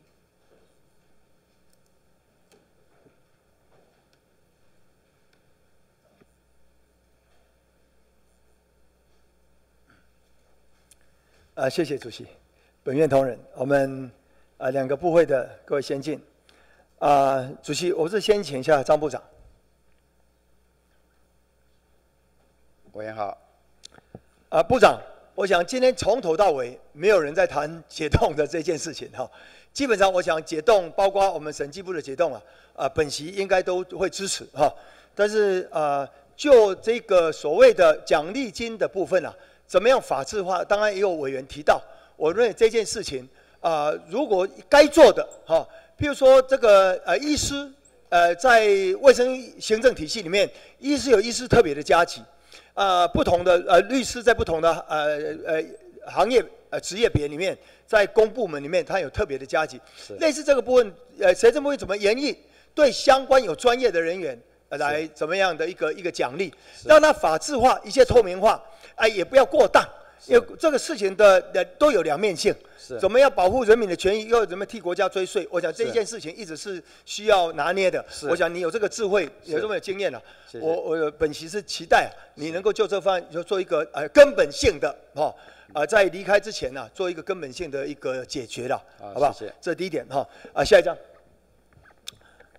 那我想这大家顺着这个巴拿马这一个事情哈，呃，现在冰岛啊。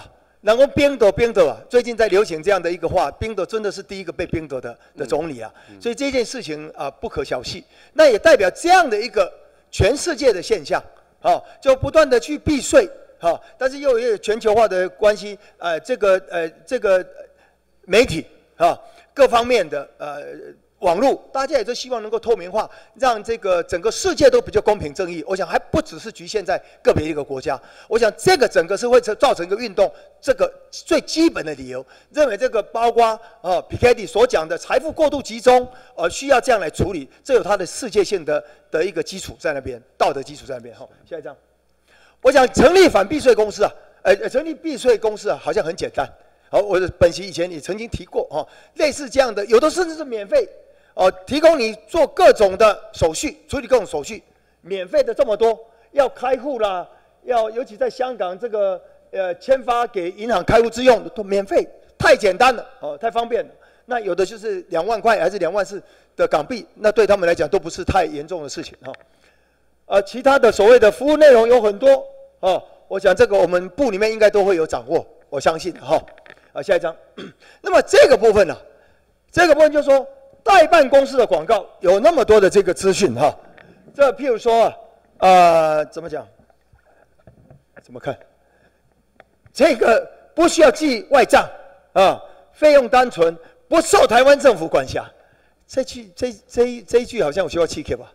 作为财政部长，作为查税的，呃，是合理追税好不好？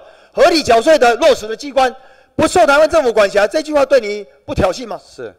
你觉得这里面有没有违法？我们因为时间的关系，很简要的。对，设境外公司，当然他就希望我们国税局没有办法查到他嘛。嗯，对。那我们我们当然也有在在这个所谓的两千呃零九年吧，我们很早以前就有相关的这样的一个规定，也很早就就处理过这样的相关的事事项。财政部不是有这种所谓的处理啊所得税反逃税的、反避税的，有很多的的的的相对应的措施，所以包括四三条之后就已经先制定过了嘛，通过了嘛。现在今天大家都在谈四四至三之之三之四嘛，对不对？是。哎，所以我的意思就是说，当然彼此都在斗智嘛。那法律就是说，当这个现象太过腐烂的时候，财政部就要拿出办法嘛。好，下一张。所以这个啊，刚刚这个大家都呃说明了，二零一三年四月一号整个财委会的过程，然后呃这个这个这个这个送到院会啊，这个整个过程，我想这部长都知道了哈。刚刚大家都重复过，下一张。所以个人啊，不是说今天巴拿马我们大家突然间一窝蜂，而是就这件事情本身，我们已经好几次。部长和你在这边对话哈，那最近一次就是不久之前啊，对不对？我们在呃院会啊，那那一天呢，呃部长你也承诺在一周里面送这个呃行政院会，好，之前委员会就好几次，我们就不不谈了，只只提最近的两次哈。所以这个院会那个部分现在落实到什么程度？明天政务委员审查，审查通过，我相信。下个礼拜四的院会就可以通过哦，所以审查，因为这是这是老案子，是是，它不是一个说非常复杂的、非常争议的，还要重新。对，我们有做一点文字修正了，好不好？在在审没有关系。那如果是文字修正，那精神还在那个地方。是，所以政委员这个地方应该不会是卡开，不会卡太久吧？不会。所以部长，你会落实到下礼拜。送进去院会，院会就讨论了。是，现在应该，我想那时候你是说送行政院了。是，哦，应该是这是送行政院，而不是是院会了哈。是，院。那行政院当然有这个程序，我我希望这个能够快快点落实。是，在这个名气可用的状态下，是不是能够来落实这件事情？是。再下一张。啊，这个你刚刚都提到，这个也是我们老生常谈的哈。你一直有讲到这个，就是含两岸租税，但这个两岸租税协议基本上都谈好了嘛？都都签署了，哦，都签署了嘛，对不对？对，只是要经过立法院审查通过而已。好，那个就是说，所谓我们的这个监督条例，对，呃，两岸协议的监督条例，是，一旦通过这个程序，要走这个程序，因为基本上这个不是太大的争议啊。这样的一个事情，让呃税基能够扩大，能够税比较合理的，呃呃扩大这个税源，我想这个朝野。没有理由会反对的，是，所以即使两岸这个协议监督条例通过之后，审查这个法案本身啊，我认为都不会有太大的争议和困难，应该会快速通过。是，啊，所以我想那个部分呢，呃呃，部长有没有要补充？刚刚大家都在质疑你的那个那个决心，呃，那个部分呢？我想决心是有连带性，对，有连带性，连带性，就跟但是那个已经都处理好了，这个就不断的在追这件事情的结果，不是吗？是是。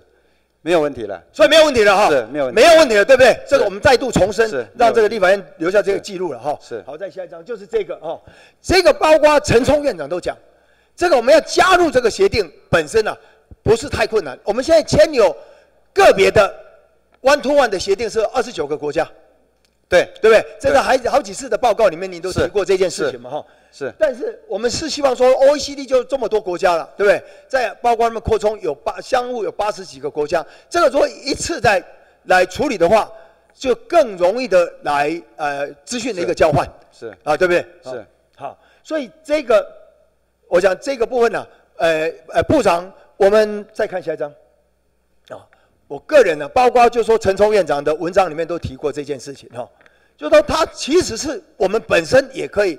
所谓的非不能也是不为也，啊，从第一段说它是 to be invited to become a party 里面我就不念了啊，下面是 decision of the parties to invite 里面呢没有理由，没有理由说啊这样的一个事情，尤其因为我们有二十九个国家做基础，如果用他们，然后再加上我们现在也有注税，啊两岸的所谓的注税协定也处理了，这个应该可以扩充。本来可能说它可能是一个障碍，现在它也不是障碍了。是。那加上这个应该可以一次处理，所以这个部长，我们部里面做了哪些努力？呃，OECD 啊，它的反避税一共十六项，我们成立小组，逐项在研究。那另外，OECD 目前成立了这个你刚刚讲的多国租税协定互助的组织，没错。目前大概有七十九个国家加入了，那我们会评估看看有没有需要加入，因为加入哈，里面资讯交换有三种，个案资讯交换的。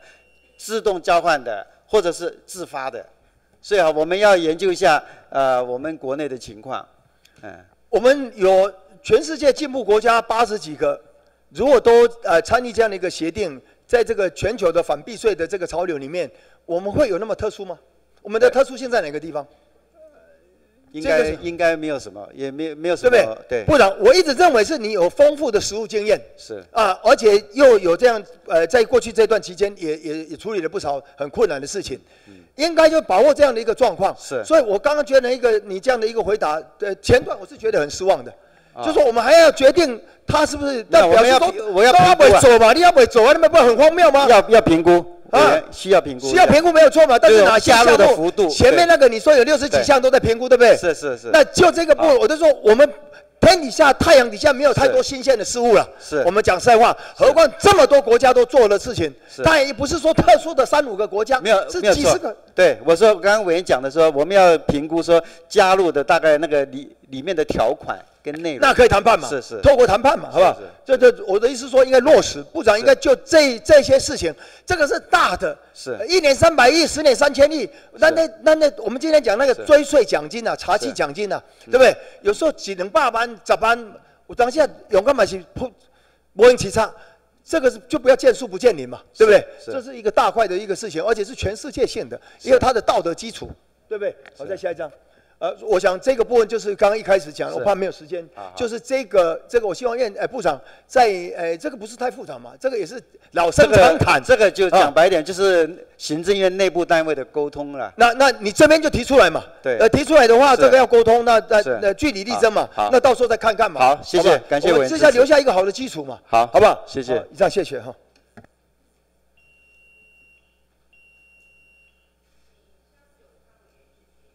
请江永昌委员质询。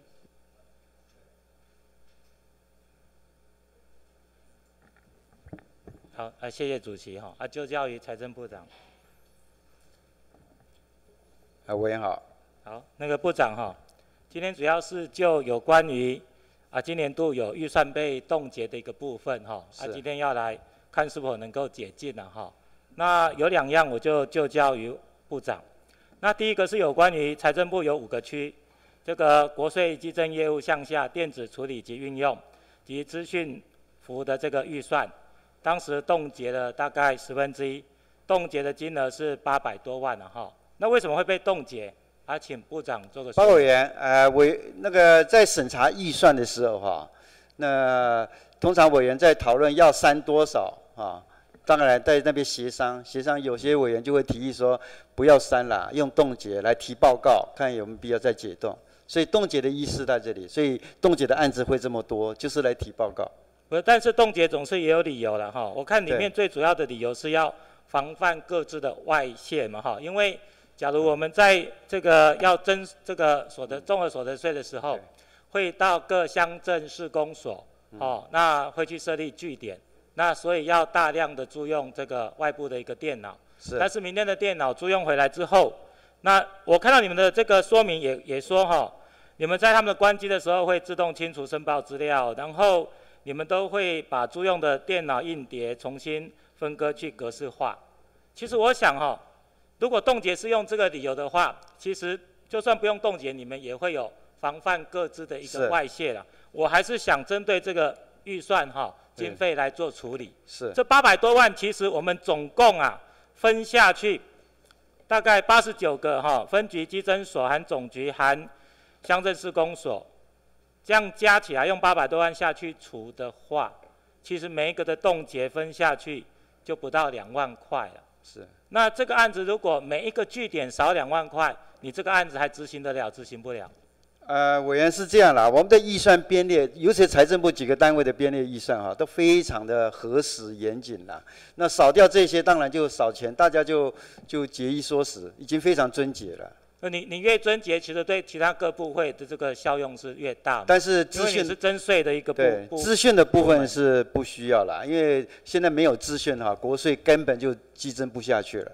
可是我跟你讲哈，你的预算冻结影响报告里面，你是好像在恐吓立法院一样啊。你说，假如这个预算冻结的话，会导致民众无法查调所得资料，也没有办法顺利完成网络申报作业，有这么严重吗？没有，就是说如果没钱了哈，那后后续的没钱是完全没钱了，但是如果只有冻结十分之一，本席认为影响不会那么大。是呃，请说明啊。是，我想这样了，因为他冻结五啊，不分之不然这样好，部长，前年前年决算是多少？呃，结我我想请会计长是不是查一下资料，看决算了。对呀、啊，对去年预算是多少？我我请会计处长赶快查一下好了。我们几月要征征收这个所得税？五月一号，下五个月月一号，对，时间到了，对不对？时间到了。那这个冻结这么久，啊，财政部到现在作业做了没？就都都真真的对对对，都上线了，，都所以是个问题啊。既然既然其实因为五月哈，我们就要课征所得税了，其实早就应该要作业了，不然会来不及。对，那所以本席料想，你们应该已经是发包出去了。啊，请问你发包的金额是多少？你发包金额是这个预算的十分之九吗？委员这样啦，它是全年的预算啦。对，全年的对用完了，当然到后面就没有了，因为资讯是啊但是你你你不担心如果有这个？如果有这个冻结的话，到时候你经费不够会怎么办？难道你是觉得说今天你已经发包出去，那又超过了冻结这个金额所嗯限制你的这个额度的时候，那立法院这边委员会这边又不得不买单？部长是这个心情吗？不是委员，我想那么，那你你做一个比较好的一个说明啊。是因为我说你已经发包了，所以今天其其实来来说要不要解冻哈，事实上我看是很困难的，但是你至少给一个比较漂亮一点的一个理由来做说明，来作为一个支持的一个一个论述啊。就是我们一就是所有的资讯的处理啊，现在是国税局的核心了。那没有这一笔预算了，我想说，那国税局的业务真的是很难推动。要不要让那两位讲一下？好，到底因为据我所知啊，网络申报现在年年都上升嘛，哈，那表示我们在推动的过程当中有成效啊，所以你很有可能你需要啊借用到各据点的这个外部这这个租用电脑或这些资讯的这些设备，你应该可以在在增节开支啊，请说明。呃，报告委员，那个，呃，这个有关于各个国税局的这个电子处理及运用啊，这些都是我们整个五区局他们分别有有一个负责的 handle，每一个我们有分配给他，因为采购的你其实是额度分配给他了，现在是每个分局去发包还是？对，呃，有一些是集中发包，可以享受到它量的优势，而，有些是个别的业务局它的特性，它要个别发包，所以我们的这些动作哦，是看不是其实哦，我跟你讲，当时哈、冻结是说啊，怕因为这个使用外部租用的一个电脑会有这个治安的问题。那其实我料想，这个绝对不是哈、最大的一个理由。你们其实在编这个经费的时候，其实你们都已经考量这个进去了。我说何不利用这个机会？我本来想说，你们刚好如果只用经动用经费的十分之九，那其实今天这个十分之一可以继续帮国家把这个钱省下来，由财政部来做一个示范。可是听起来已经发包出去了，所以我刚才问部长说，那既然已经发包出去了，前年决算、去年预算跟今年发包的一个费用，能不能做一个说明？呃，这个详细的我我们事后会再把细细项的动资的情况，哎呃，本席不呈给过要你讲一个总数，你就讲不出来。因为这个要统计，要再加强。你已经发包出去啦、那前年决算你总是今天会数据带来吧？全那去年预算多少？全年他个别的预算哦，不是个别啦，今天你不就是被被冻结十分之一，然后有这个八百多万啊不能够这个使用，可是你们今天已经又发包出去了，我怎么问一个这么简单的问题，你都没有办法回答？他这个这个细项，它是包含在一个业务科目底下去执行。部部部长，他没有听懂我的问题啊，我只是问你一个最大的一个数据，让是不是就让他们查一下？因为它不是一个大科目了，它在下面的小项目了，是不是请他们统计一下，提供我跟你讲，今天因为你这个已经发包出去了啦，是是所以我说你至少要回答一个理由，能够支撑得住，让本席听了能够信服。结果你连总数你都说不出来，他这个花包是陆陆续续在花包，因为年度在执行。那你的意思说委员会今天就没有用啊？那我就叫于主席啊，今天如果本席继续主张继续冻结，不可以吗？我就说你就已经发包出去了、所以本席需要你一个理由啊。啊，你讲得好，大大家就觉得说这个是你行政业务之所需啊，就不要再给你做任何的一个干扰的一个作用嘛。当然，立法权也不应该扩张啊，用用冻结来指使你们要做的要做那个。啊，你今天连一个总数都说不出来，那你是摆明的今天委员会就一定要通过，一定要解禁吗？委员就容许他给他一点时间来统计一下了，他可能一下你用了我十分钟答不出来，我还要容许什么时间？我今天可是针对今天的议程而来的呢。对，会后我马呃，你只准备十四吗？你今天不就是被冻结的预算？今天来这边求的委员会一个同意。啊，我问最基本的，啊，连这个都没有人回答。啊，所以以后都不要准备这个了。你已经发包出去了呢。莫名其妙。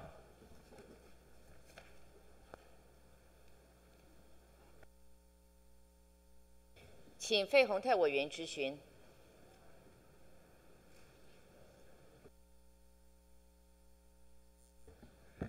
好，呃，谢谢我们主席、各位委员，呃，两位首长、各位我们女士先生啊，主席帮我请一下张部长，好吧？各位好，张部长先讲你们的预算了哈，这个在去年我是没有删你们的预算，我在甚至帮你们再说一些话。其实这倒是今天呢、当初是要删删你们预算那些委员都不表态，他应该讲讲他们为什么要删你们的预算，现在让你们过的原因是什么？其实他们应该出来说说了哈。这个，我想这两天啊，大家最关心的巴拿马的文件啊，是。先请教一下，刚才很多委员都已经请教过你了，你们现在有没有成立一个小组，想要去了解里面的内容？因为这个是这个假期发生的事，所以刚刚委员咨询，我也答应我们立刻成立小组，然后跟天下杂志来接触，主动接触，然后看看我我觉得需要去了解是是因为这个里面是。呃除了司法问题，还有牵涉到税的问题是。嘛哈。所以我是觉得财政部啊，你应该指定一个人啊，不管是次长或者哪一位啊这个首长啊，嗯。成立一个这个小组，是。充分的了解掌握这个状况。是，因为大我相信全球了高度的关切，中国大陆有习大大，俄罗斯有普京，台湾有一个蔡英洋，这这个这个是大家关心的嘛，对不对？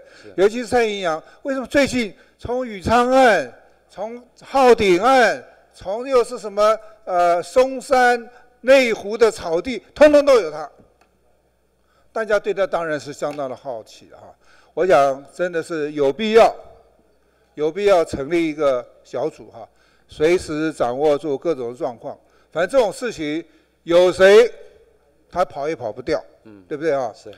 我想这个、呃 这个反避税条款啊，在今天也有两位委员提到，二零一三年我们就在这边审这个案子，对不对？所得税法第四十三条嘛，对不对？十三，对，四十三条哈。十三之四，嗯，呃，四三四四哈。对，那时候的招委是我。是。我记得我在场啊，我坐在这里问了每一位现场的我们委员，不管哪一个党，大家有没有意见？都没有意见。是。那当然，后来因为牵涉到两岸租税协议的问题，有人需要认为说这两个需要综合考量。是。刚才我听到你行政院又要送一个案子来，对不对哈？是。关于所得税法第四十三条、第四十四条，是有没有考虑到两岸租税协议里面的内容在这里里面啊？这个有所琢磨？呃，没有，这两个那个内容没有这样在法条里面显现，但是因为里面的对象都是台商，它从差不多高度的重叠，就说我们这个 CFC 跟反避税条款要处理的对象是台商，而这个台商很多是两岸租税协议要适用的。其实我是我一个人呐、我在财委会今年是第十二年了，我真的都很希望这两个案子赶快过。是，这个我以前的事啊，我们如果有这种经验，我真的很希望赚钱没有关系，是，平常讲节税也没有关系，节税啊，至少它不是逃税，我觉得也没有关系，它的技术啊或者它的需要，那逃税就不好了哈、对不对哈、是。反正逃税希望他回来缴税嘛，对不对啊？这个赚钱真的是没有关系哈、这个再请教一下哈，我在两个礼拜前还是上个礼拜啊，我就希望你们啊上礼拜吧，我希望你们去查，在二零一二年，翁启惠买了股票，后来翁启惠说是他女儿买了股票，哦，叫翁什么？翁翁玉秀，啊，当时我们在怀疑，我在怀疑是不是用赠与的他的资金让他去买啊？当时不知道，后来翁启惠自己承认了，他是他夫妻多年捐给他的钱。那我当时，我大概是这一次一个礼拜还两个礼拜前哈，当时我就在这里，我就请你去赶快去查一下。翁启慧跟翁玉秀之间有没有逃避赠与税的问题？因为我们知道赠与税就两一年就两百二十万嘛，哈。他三千张三十一块的单价是九千三百万。换句话说，就算他这二十年都赠送好了哈，二十年月在二零零八年之前只有一百一十万一年，对不对哈？二零零八年二到二零零九年开始才有两百二十万，就算是二十年通通符合这个东西，可能也没有九千三百万，对不对哈？而且后来他自己也承认，他们夫妻赠赠赠送给他的女儿。如果你们再不查，我们赠与税你可以追查，只有倒推七年嘛，对不对啊？是，七年很快就过了。嗯，是。啊，二零一二很奇怪。我两个礼拜前在这边。的咨询，不知道不知道今天可不可以给我一个答案？不知道北北四国是吧？北四国何局长看看有没有什么新的资讯，好不好？跟会员报告一下。哎，部长，我是两个礼拜前还是一个礼拜前？两个礼拜，三个礼拜。两个礼拜前请教你的，两个礼拜了，今天刚好礼拜三了，两个礼拜了。我记得那天我们因因为我看到一周刊嘛是礼拜三，大概就两个礼拜前问的，事隔两个礼拜。麻烦你们把你们的努力，可不可以跟我讲一下？呃，跟委员报告哈，第一个，呃，当时呃部长在答询的时候有交办我们，我们有去要请这个翁启慧来说明呐，他这个到底是怎么一回事？这个是第一点，所以他还没回来，我们就没有办法发动这个。对，当然问是可以啊哈。第二个。第二个。好，第二个请讲。第二个，因为这个资料，经管会已经移送这个剪掉，那到底是赠与还是人头？我们需要等剪掉那边哈，这个厘清以后再做相关的。我我觉得经管会也好，财政部也好，现在通通都推给剪掉，推给检调，因为检检调在在调查侦查不公开，如果检调。包庇，那我们现在根本就石沉大海了哈，所以我倒是当然这不怪你，不怪部长也不怪局长，这不是你的全责，还是要去查。我倒是是跟我们卢昭伟一个建议啊，是不是找你下次轮值的时候，是不是排一个秘密会议，让经管会、让财政部把他们知道都知道关于欧企会。的资金流程相关的事情，我们来办一个秘密的会议嘛？那总总总可以讲吧？否则到时候哎，现在翁启慧好像没事一样哎。翁启慧平常讲，翁启慧跟蔡英文的哥哥蔡英阳可能会断送了这个生物科技在台湾的发展呢。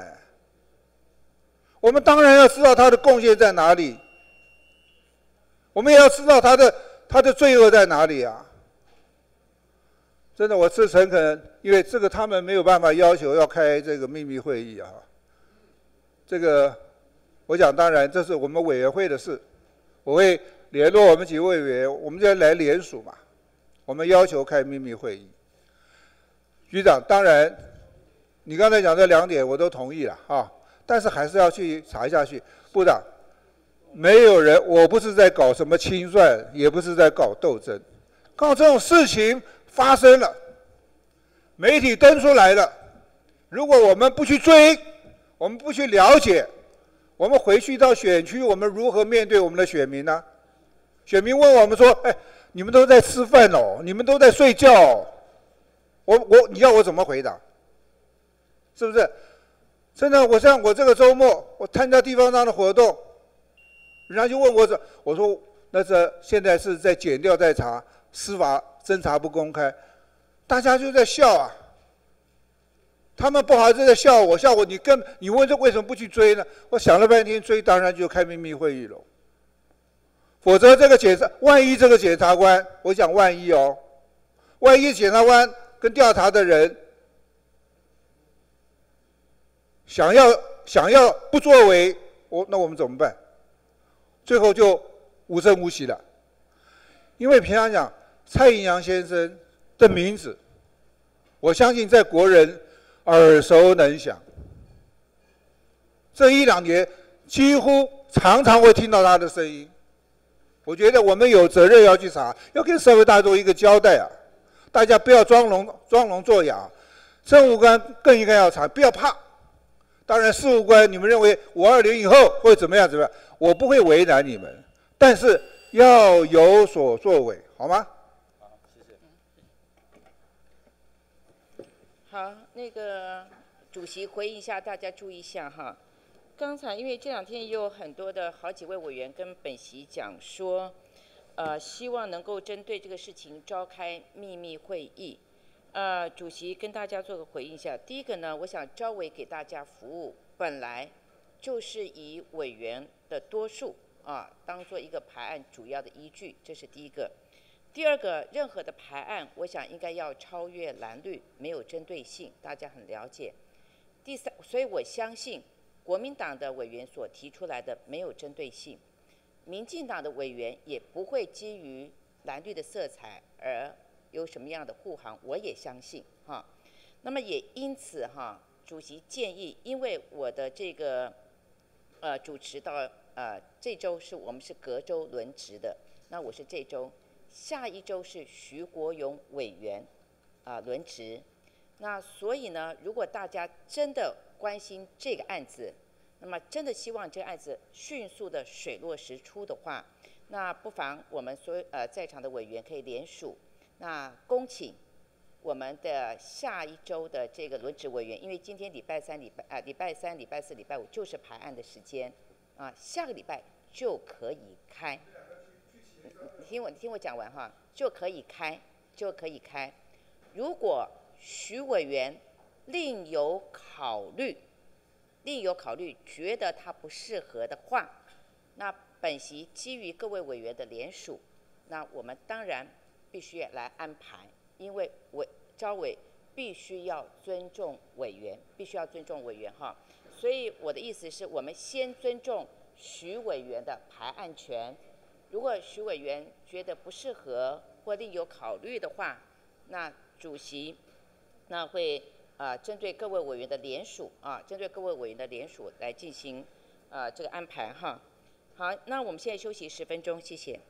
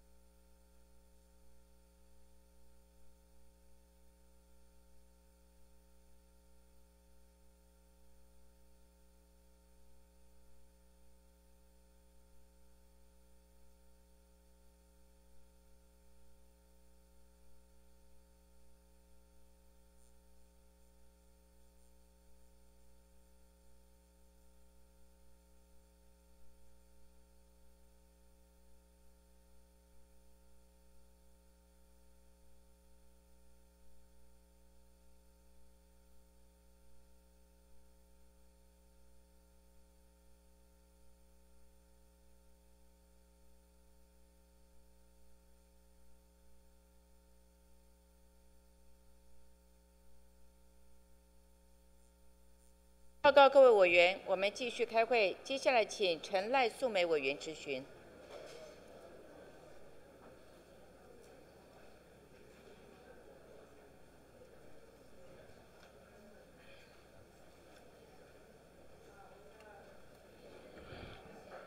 我们的主席，还有我们所有的财政部的所有的单位主管，我想请我们的呃张部长。委员好。嘿，呃，部长，我想请问一下哈，我们这一次主要的主题就是针对我们一百零五年呃财政部五区国税局国际税呃激增的业务。的关于我们资讯服务费的预算四分之一冻结，所以呢有提出这样子的一个呃报告。那我想请问一下哈，当时我们冻结真正的原因是因为呃要辅助我们呃当时加强辅导民众呃查自己的所得资料，作为一个申报的一个呃方便性。那我想请问一下哈，需要用到？啊，我们那么大量的一个呃电脑的一个设备，所以我们采用呃呃租用性的。那针对这个租用性的，呃，要如何能够保障我们这些使用者的一个外资的问题？那我看到你们的一个说明资料有没有？呃，对于提出这个说明的资料里面，好像比较简单。那你们对于这方面，你们都有呃相相当的一些安全措施了吗？报告委员，治安是我们国税局最跟资讯中心最重视的，因为纳税课税资料一定要保密，所以有关治安，我们除了有防火墙、有内墙、有外墙啊，然后呢相关的一些呃保密的措施啊，所以这一点我们非常重视了。那我想请问一下哈，你在租用这些电脑的时候，有没有可能？在还没有正式使用的时候，就已经被装设这个木马或者是侧录的软体。这部分你们在报告中里面都好像没有做一个说明。这一定要一一定要注意的啦。我想是不是我们中心主任还是谁对这方面的他治安专家他有证照？这是这是我提的。来说明一下。对，这是我提的一样哈。另外一样就是说，租用电脑硬碟，你们最后如何结束的时候？啊，执行这个呃那个格式分化的单位是哪一个单位？这个部分也请一并给我回答。呃，首先哈，谢谢委员给我们这个机会来答我。我想这个事情大概分两个部分。第一个，在整个设备安装之前，我们会做呃全方位的一个资讯安全检测，看看它有没有木马之类的城市。我们大概会做呃垂直跟水平的两个部分。第二个，在整个呃租用结束以后，我们会呃对整个硬碟做深化的一个格式化。避免有一些资料留存在里面。当然，因为是租用。我想中，请问一下，就是说，你刚刚说结束的时候要清除资料，是用呃格式化的方式，以复解的方式嘛？哈。那我想请问一下，执行这个动作的是哪一个单位？执行这个动作是由我们呃委外的厂商他执行，然后国税局他要针对每一台硬碟去做复测。因为这件事情，我们很因为我就是质疑嘛，因为你现在就是由租赁电脑的业者去做嘛，做完以后，那我们如何有办如何有办法可以知道他在这个执行的当中有没有这种不法的一个情势，让我们这个各自有一丝可能外泄的一个机会呢？这这这个问题非常好，我们采用的一个复测的工具，我们必须要确认它是一个深度格式化，因为格式化有分好几种格式化，如果是浅层的格式化。资料还有可能被回推出来，所以我们是用深度的格式化。可是我们不能去破坏到硬碟，如果破坏到硬碟的话，哦，这个整个租用的成本会大幅的一个垫高。对，这个这个我了解。所以我要问的是，执行这个是呃一租任电脑的业者嘛，对不对？然后由我们国税局的同仁才来做一个呃最后的一个检验。但是呢？但他在执行当中，我们都没有人跟他们配合去一起完成这些事情。他在这段期间有没有一种会呃风险呢？事实上，在执行的过程中，不是放任厂商去做，事实上是我们有国税局的同仁陪在旁边，陪他去做这个哦，整个执行的 procedure。然后我们自己也有其他的工具来做 verify，因为这件代志最重要，所以除了执行以外，还要有一个复测的动作。因为我们都知道嘛，哈，我们全全世界有几个比较重要的一个美。像美国人事管理局以及美国医疗保险公司，甚至意大利的骇客公司，他们都发生了严重的资料外泄，啊，导致数百万或数千万的那些资料外泄。所以我在这边很担心，我们这个。使用这个当不当的情形发生的时候，有没有坏泄的疑虑？所以这个部分有没有？单单我就看到你们的那个报告里面蛮简要的，所以我希望哈这个部分你们一定要呃严加的一个控管，好不好？谢谢委员给我们的一个哦指示，我们会很彻底来执行，因为好这一个部分对我们来讲太重要。时间的关系哈。那我没办法，这个再给你时间，所以这个部分是本席要求的哈。那另外就是说，针对我们呃冻结我们的那个推动电子发票、创造智慧好生活计划这一个冻结的预算五分之一的部分，我们现在电子发票有没有使用潜藏人工配号、系统配号还有字轨号码的问题嘛？是不是有这三样的问题？哦。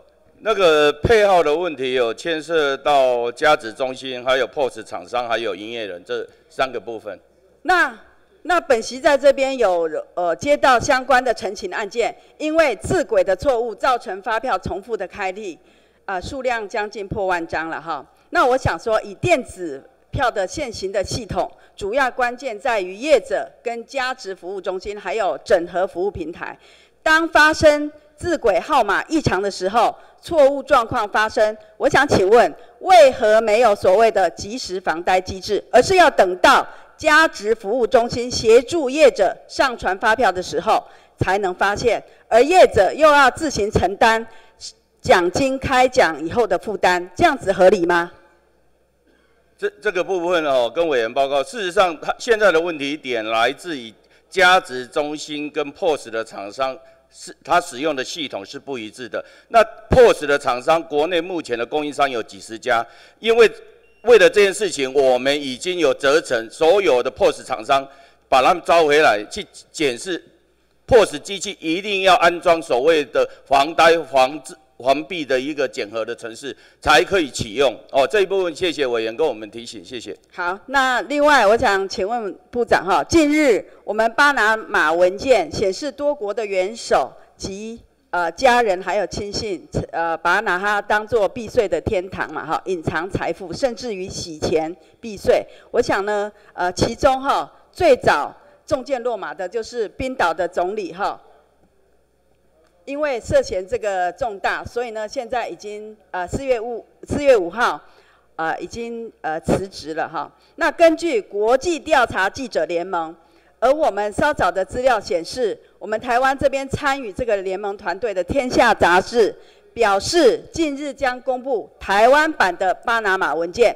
由于这次的巴拿马文件包含一万六千多余的那个台湾投资者名单。引发国内很多的一个关注。我们都知道，市民小景每一块钱都要纳税，辛辛苦苦赚的钱都要纳税。但是呢，很多的大户他利用一些管道而避开这些呃呃要缴的一个巨额的税。所以现在台湾全台湾的人民都在看，看我们财政部有什么作为。那我想请问一下，关于这个部分。我想了解一下，我们财政部这边是要等这些呃主动去查这些非法的一个呃逃漏税的，还是呢等我们这些杂志来披露，才呃坐着等他来看怎么看？谢谢委员。我们早我早上答复委员的咨询已经讲过，我们立刻成立一个小组，我们请国际财政司先主动向《天下》杂志收集资料回来分析，然后请赋税署、国税局同仁用风险的机制加以过滤，看哪些有逃漏税可能性最大的，先分分成等级啊，哪些有可能是如果是学者啦，是一些不可能的，我们去剔除掉。我们先自己先做一个了解。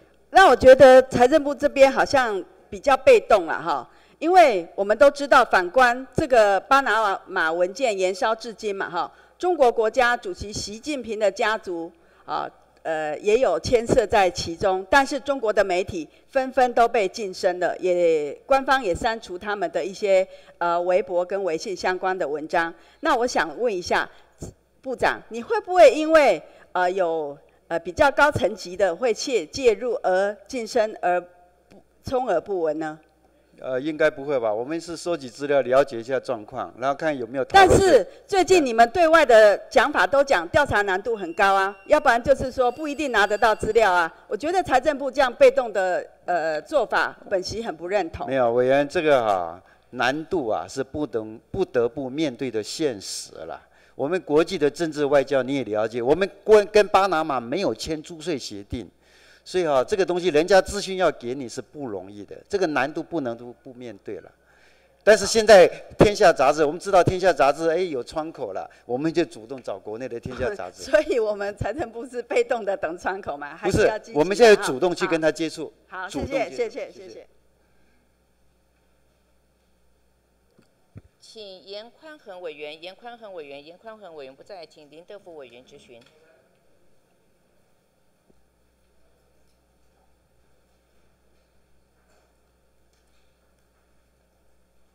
呃，主席，呃，张部长，啊，与会各列席首长，呃，包括林审计长，哈，呃，是不是请那个张部长？委员好，部长你好，部长，我想今天呢，大概我们呃这个财委会里面有很多委员呐，啊，都针对，尤其是这一次整个巴拿马文件呐曝光以后，然后大家。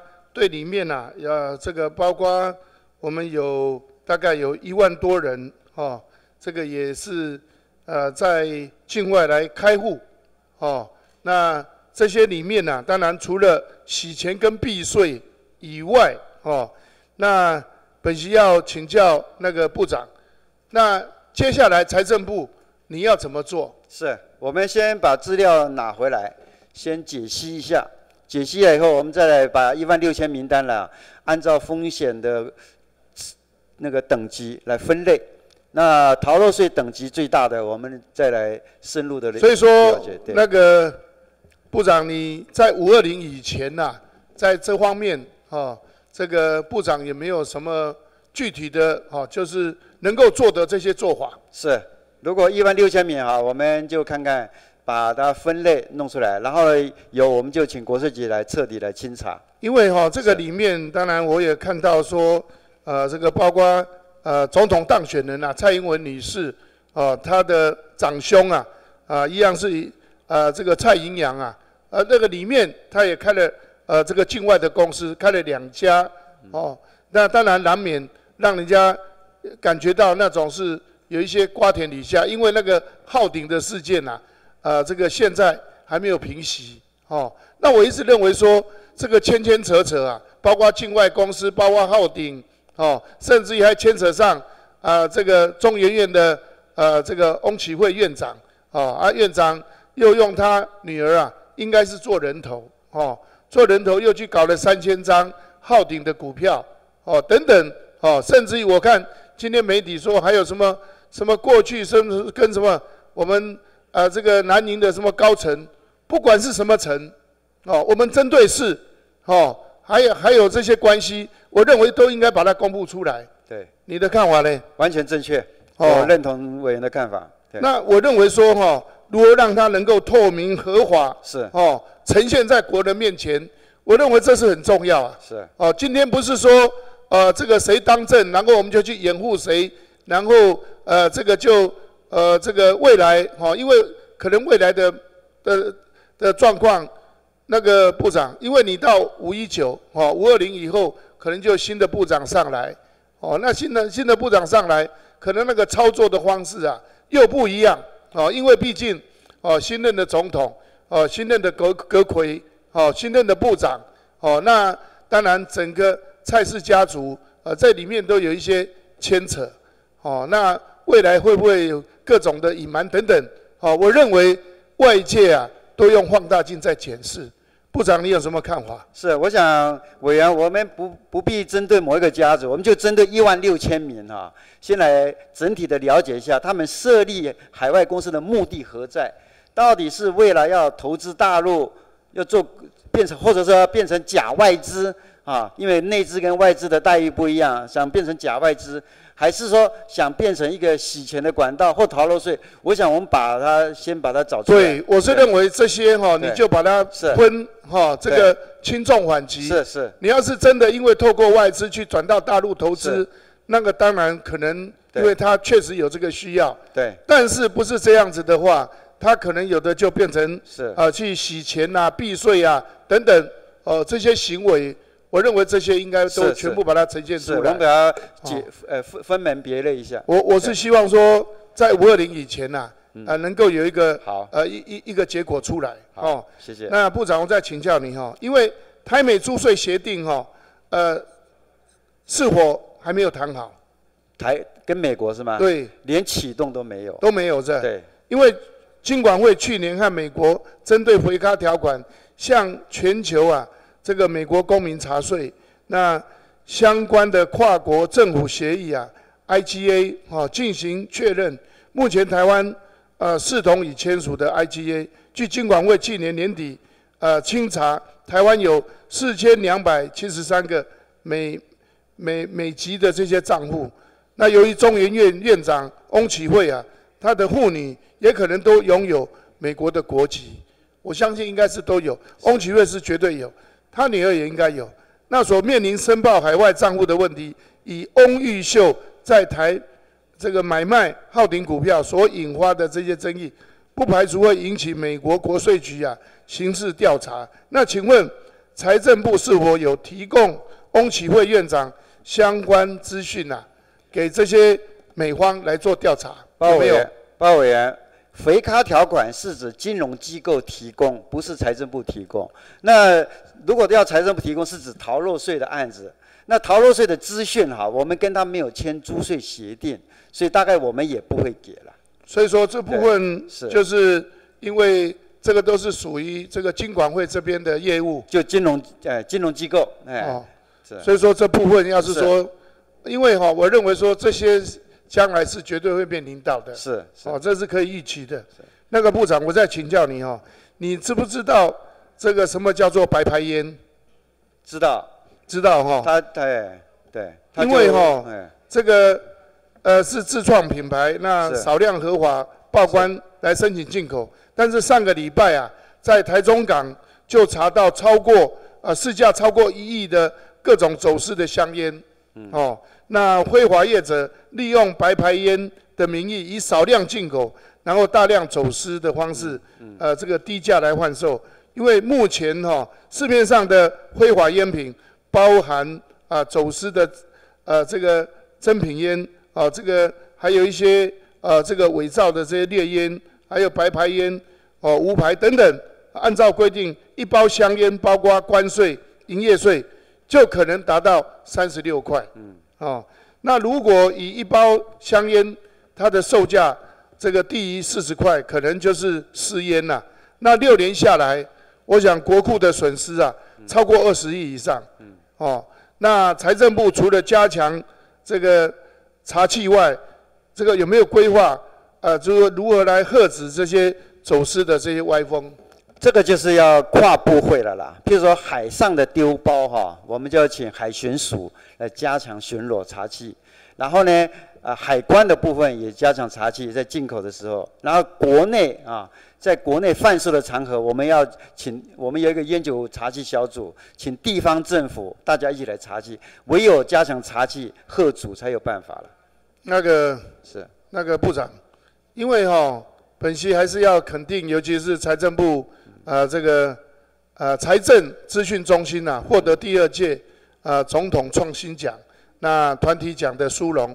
二零一一年这个税捐激增单位出现过一波的退休潮，哦，是。那大多都是资深的税务员以及中阶的主管。那当时外界都担心说，对整体政府，尤其是追税啊绩效会受到一些影响。但是经过五年来，科技不断的进步，面对大数据时代，财政部正推动呃建构财政云端服务网这种计划。那可我请财政呃这个资讯中心说明是否有规划在职同仁进修课程以及适应大数据时代的这些查税的技术。好，谢谢委员。我想大数据是未来一个很重点重点的，我请苏主任哈来再说明一下。谢谢。哦，谢谢委员给我们这个机会说明。事实上，最近这两三年，整个资讯预算是每一年用九成的速度在往下降，就是每年都打个九折。那针对这种教育训练，是我们非常重视。我们现在是在最少的资源以的情况底下，我们跟二十所大学签 MOU。把这些教授的研究能量，他们建立模型的能量，把他们带进来我们中心，我们来学习他的新的技术。所以这方面的能量，我们一直在尝试透过这样的合作模式，改变我们的核心能力。谢谢。我再请教哈，关于这个电子发票的捐赠，那这个财政资讯中心全台有多少社福团体来申请爱心码？有接近八百家那个社福团体已经有申请了。那接受爱心码的捐赠，这些电子发票的社福团体，啊，这个曾经最高对中多少金额的这些奖项？以我的了解，哈，现在最大的有一家叫做呃创什么的基金会，创创世，哎，嗯，他的整整整年的一个发票奖金也大概一亿多啦，有一亿多，哎，有一亿多，有一亿多。哦，就是大概大概一整年可以拿到一亿多的这个兑奖的发票奖金。我认为这些应该多宣导。哦，另外，教育部针对全国高中职以下这些学校开办学校教育储蓄户，接受民众爱心捐款，协助经济弱势的这些学生顺利完成学业。请问这些学校可否向财政部申请爱心码，来接受民众捐赠这些电子发票？有没有？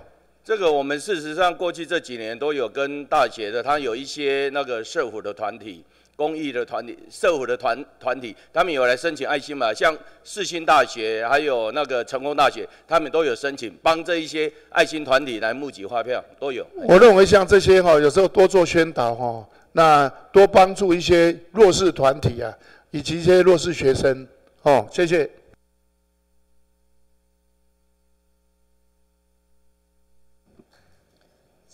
徐永明委员，徐永明委员，徐永明委员不在，请郑天才委员质询。郑天才委员，郑天才委员不在，请黄伟哲委员，黄伟哲委员，黄伟哲委员不在，请陈欧破委员，陈欧破委员，陈欧破委员不在，请李彦管碧林委员，管碧林委员，管碧林委员不在，江启成委员，江启成委员，江启成委员不在，郑运鹏委员，郑运鹏委员，郑运鹏委员不在，李彦秀委员，李彦秀委员，李彦秀委员不在。王惠美委员，王惠美委员，王惠美委员不在；陈怡杰委员，陈怡杰委员，陈怡杰委员不在；张立善委员，张立善委员，张立善委员不在；陈廷飞委员，陈廷飞委员，陈廷飞委员不在；林俊宪委员，林俊宪委员，林建宪委员不在；邱志伟委员，邱志伟委员，邱志伟委员不在；简东明委员，简东明委员，简东明委员不在；高金素梅委员，高金素梅委员，高金素梅委员不在；吕玉玲委员，吕玉玲委员，吕玉玲委员不在；姚文智委员，姚文智委员，姚文智委员不在。王荣章委员，王荣章委员，王荣章委员不在，请罗明才委员质询。啊，报告各位委员哈，呃，罗明才委员质询之后呢，啊，我们不中午不休息哈，继续到全部呃议程处理完毕，谢谢。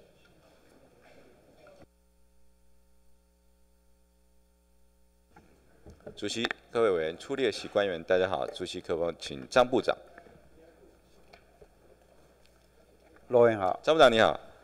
我们看到国安基金即将要退场，造成今日股市啊大幅的下跌啊，下跌大概一百六十几点哈。那整个股市未来的前景啊混沌不明啊，很多人在讲说就是清明之后会变盘了哈。果不其然变盘了。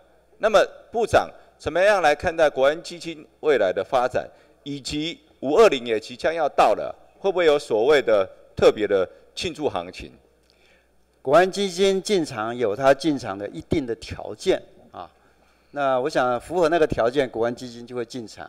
那这一次是授权到四月十五号，所以十五号授权完毕了，那期限就到那一天为止。那要不要进场，新的委员再来决定。请问国安基金要进场的基本条件是什么？第一个就是以目前现在的情况之下，有没有可能在四月十五再做一个决议，就是决定要进场护盘？有没有这样的一个外在条件呢？是国安基金进场的条件，就是国内外有重大的因素啊，让股市有失序之疑，或者是说国内股民的信心有丧失之疑，像这些条件啊。那至于四月十五号可不可以继续？我的看法，到最后四月十二号我们就要开会了。是十二号就会开会对看委员们的看法怎么样。那时间就马上要到了啊！到了，马上。请问这个礼拜国内有没有什么经济因素是没有办法控制的，或者是会造成这个整个经济严峻的这个发展？目前看，目前看起来没有。没有嘛？哦，是。所以就变成哦，国安基金是一个不确定的炸弹，上去了以后，你一拿掉了以后，投资人看到炸弹要炸了，所以在清明之前呐、有人哦，这个赶快就跑掉了，赶快就卖掉了。所以我们看到今天呐、整个国内的盘势啊很不稳啊，国际也没有巨大的坏消息啊，为什么会一下子跌了一百六十几点，涨都很难涨，可是跌哦却是喋喋不休，不涨这是为什么？老实讲，我不清楚今天为什么会跌，也不知道吧哈，也不知道。就是国安基金要退场啊，应该不是吧？我想请教一下，国安基金啊，如果退场，以现在的情况大概结算一下啊，大概它的获益情况是如何？四四月十二号当天就会公布，因为还这几天还要还要继续观察，再结算一下，都是账面的啦。那是不是因为在四月十号结束之前赶业绩啊，赶快清库存啊？啊，手里有的股票赶快清清掉啊，要做一个报告啊。不会不会，那不不会不会的意思是，国安基金手上的持股都不卖哦，还是会继续买？究竟是还是都不动？委员这有执行秘书专业判断。好，是不是请执行秘书？他没有来，没有来啊？执行秘书是吴次长啦。可是你也都有参与啊，吴次长要跟你报告，次长要跟部长报告啊。他操作都是他自己在单线操作，没有跟我报告。那他操作的绩效好不好？呃，当然一段时间会跟我讲，目前大概多少账面盈余多少。是上一次哦，操盘的结果是赚还是赔？上一次是指上一次对委员会的报哦，告，一月一月十五号。对对对，到那个时候是亏损。那时候是亏损啊。对。哎呦，账面是亏损。亏多少？那个时候亏几千万吧，账面啦都没有账面是未实现亏损几千万，没有卖。那投入股市的资金啊，现在加加大概是多少？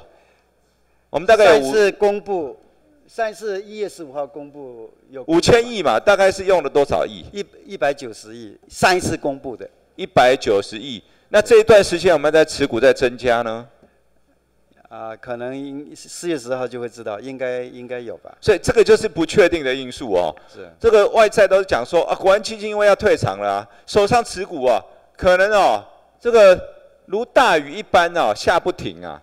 就它的量到底多少？整个如果卖出的话，会不会对股市造成另外一个不确定性的影响？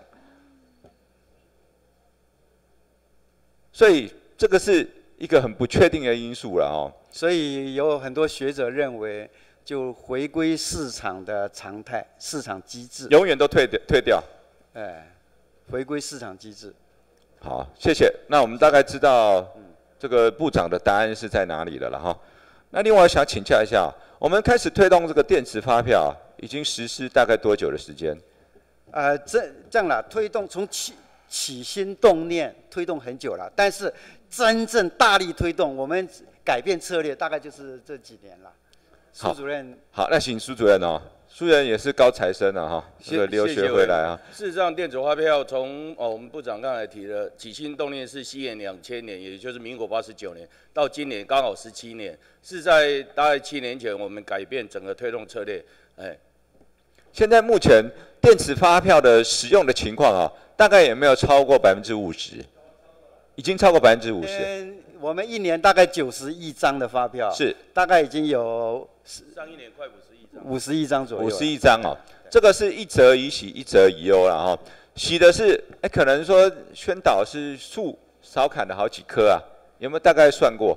如果以现在的情况，一年大概少砍了几棵树？假如以整个二收银来讲，因为它有纯根连跟收支连，光这个的话，一年事实上超过十十万棵的树，十万棵哈，一年最少十万。对，这个我是支持啊，环保爱地球啊。我们全世界好像没有用统一发票的国家吧？有没有哪一个国家用统一发票？报告委员，每一个国家都有 invoice，对，但是把 invoice 的格式统一的 uniform 的哈，当然是我国了。对，那各国大概自己印嘛，但是他买东西都有收据啊。可是你这样子啊，国外的 invoice 不能去兑奖，不能中一千万啊。用统一发票中奖的，大概我国是算是很独特的了。全世界只有中华民国有统一发票可以兑奖、很多国家都要来学呀、是，其实这个也不错啦，这种小小确幸哈、让这个中华民国多一点人情味啊、大家手上有发票，人人哦有中奖的机会。明天你可能就是千万的变成千万的富翁。我们创造很多千万富翁了。是这个也很好啦哈。那就是这些呃电子发票当中哦，我们发现还有一个一个这个优的地方。以前是想说电子票通通不用拿收据的、啊，可是发现很多地方啊，超商啊，弄半天，以前是一张，现在变两张，那种电子的那种电子纸啊，那个证明联呐、证明联，那还不是一样？你换汤不换药，统一发票没了，可是多了那两张啊。当然我知道那个用意啦，以前是财政部做庄嘛，要印发票，现在是财政部不做了，可是砍树的变成是这个超商，是这个末端的这个商商家嘛，他们还是有这个发票联啊，那不是这个左手右手呢，还是有有有那个纸张的浪费啊。那个纸张是到底可不可以完全消失？以后通通不要拿。呃，如果有一天每一个人都有载具，全部把把统一发票送上云端，是就可以就没有纸了。那现在载具推广哈，当然正在努力中，我们推推广了几十种载具了，就是大家都要愿意申请用电子发票，嗯。那现在就是比率上啊，大概百分之九，刚刚讲无实体发百分之九点二。九点二是载具，真的就是没有拿发票。我们呃，报告委员，那个呃，无实体发票上一年是九点二，今年公用事业导入电子发票以后，啊、我们现在到昨天为止是十六点五，那年底预计会达到百分之二十。那同样的载具的问题，我们最近在跟健保署在协调，新的健保 IC 卡前面假如都有一个条码，因为健保 IC 卡人人有卡。人人有卡，前面如果有一个条码，就不用让民众再申请。所以民众以后不管南南部的欧利上、欧巴上一退，直接就存到那个发票存者的观念，那时候比较有可能啊、呃超过一半。哎好，谢谢。我希望说哦，大家手上有有这个电子载具啊，以后尽量都不要拿发票，而且啊，你到中云端呐、以后对他还帮你兑奖。啊，才不会变成说哦这个有千万没人领的这个情况。啊，希望能加强宣导。如果用载具上去的话啊，这个财政部会不会有什么鼓励啊？比如说跟统一发票中千万的在奖金一样，能不能鼓励说，我用载具的话，哈、另外我还可以中一个一千万的奖金，可不可以这样来推动呢？但让大家养成习惯嘛。谢谢委员。那个今年一月开始哈，呃，假如你消费用载具不印出来，多十组一百万，八千组两千块的。啊，对对对对，讲讲别再讲一次，十组一百万呢，八千十块一百万的，嘿，八千组诶两千块的，每一期增加两千六百万，专门给用载具消费，然后没有印出来的，哎，的这些消费者。啊，大家都听了，希望能多多宣导一下哈。但是那个两千块太少，如果再改成一千万的话，我想那个速度啊，因为这个是要鼓励大家来习惯使用这个载具，哦，这个才有让这个财政部的良法美意啊可以做好。另外，今天讲到一些冻结哈，赋税呃这个国税局相关的这个预算哈，其实啊，这个国家的税收啊，在去年已经超增了一千八百亿，前年也超增了大概八百亿左右哈。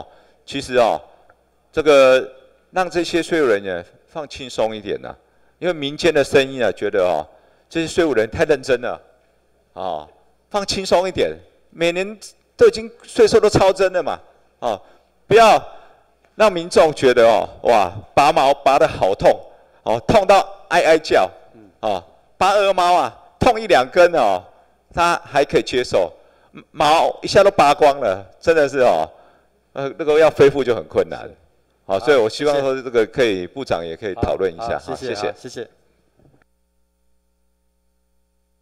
报告各位委员，呃，我们现在有林淑芬委员在场，呃，他因为来不及哈，所以他希望能够发言个五分钟。那我们是不是让林淑芬委员五分钟？谢谢。主席，各位大家午安哦，谢谢主席特别通融哈，因为早上开了一个记者会，来不及登记发言，是不是请我们张部长？哎，林委员好。部长。从这个巴拿马文件哦，呃，我们看到除了世界各国权贵政要可能啊哈涉及非法洗钱以外，更重要的是，我希望我们从巴拿马文件的这个案子，我们要去了解一种由富人和这个财团啊资本公司透过国际境外金融的手段，这个逃漏税的一种国家财政和民主危机，一种劫贫济富的民主危机呀。所以我今天看到啊，呃，从昨天开始，媒体相关的报道，他说台湾的企业和有钱人委托像这个巴拿马的这个 Mossack Fonseca 这种法律商务公司做账，委托他们成立海外公司，把钱可能洗洗到瑞士银行等等，哈。光是巴拿马文件中就高达一点六万笔的资料客户是台湾人，比香港还要多，比中国还要多。那我们在这个里面也看到，就是说啊，以这个台塑集团的遗产官司为例哦，这个遗产官司的这个啊诉讼当中啊，台湾政府计算的王永庆的遗产大概是多少钱？王永庆的遗产税好像四四十亿吧，是吧？没有他的遗产呐。哦，遗产不，遗产，我想这个我我不清楚。就是四十几亿回推回去，就是那几百亿嘛。但是他们的遗产官司打的诉讼的遗产，讲的是高达数千亿啊。所以我在这里是这个企业和有钱人透过海外空投公司洗钱洗到瑞士银行，透过这些空壳公司啊，让你政府不但扣不到税，而且让你。政府无法了解这些有钱人在海外到底拥有多少钱，你完全都不知道，这是逃漏掉的税啊！这偷窃我们的国库啊！这动摇了赋税正义啊！那我要问你，你的专业，请问这些空投公司、空壳公司，他们的逃漏税的手段大概会是怎么进行的？你可不可以简单的说明一下？啊，这样啦，第一个，他把控股公司设在这些巴拿马。就是所谓租税天堂啊！我是说，从本国的企业是如何把钱放到控股公司，用什么名目，然后控股公司的钱放在哪个哪些银行里面？哦，那委员就刚刚讲的啦，他一定是设在很保密的银行啊，像瑞士的银行啊。不是，对，以台硕王永庆的遗产官司为例，号称数千亿，请问他的钱是怎么洗出去的？委员，这个这个是他们的 know how 啊，我们不清楚。你作为一个财政部长，你不知道，你不清楚。呃他他怎么样洗出去的，我们不会知道。你知道最近有一本书叫《赋税时代》吗？一个 Gabriel Zuckman 他写的一本书叫《赋税时代》，你看过吗？去年就出版的。没有。朱静一帮他写序，你没有？你作为财政部长，你不学无术吗？呃，委员著作太多了，著作等身啊！每一个那个，我每天收到了几十本书，没有办法全部都看了。著作等身，著作太多，你不知道说我们一个趋势都要求各国政府要共同配合，要建立一个全球金融资产的所有权资料库这件事吗？如果你不知道这件事，你怎么会又知道下一件事？叫自动化的金融讯息交流的机制要拓展到避税天堂。如果你不知道这些事情，你怎么会知道营所税？哈，或者是我们讲的所得税的避税条款要改革，要针对跨国企业的全球投资获利要征收呢？那如果你不知道这些，你当然不会知道超级富豪的巨额逃漏税的路径是什么。如果你不知道，那你当然没有办法做你的赋税改革。所以今天你来这里，难怪台湾会是比中国、比香港使用巴拿马的空壳公司的这个数量还要更严重。就是财政部长，不认真嘛。哎，委员不能这样。你现在不能说你要下台了，你就可以这样子。呃，不能这样。我是要再问你一次，请问这些财团怎么使用空头公司、空壳公司把钱洗出去？嗯这应该每一家都不一样了。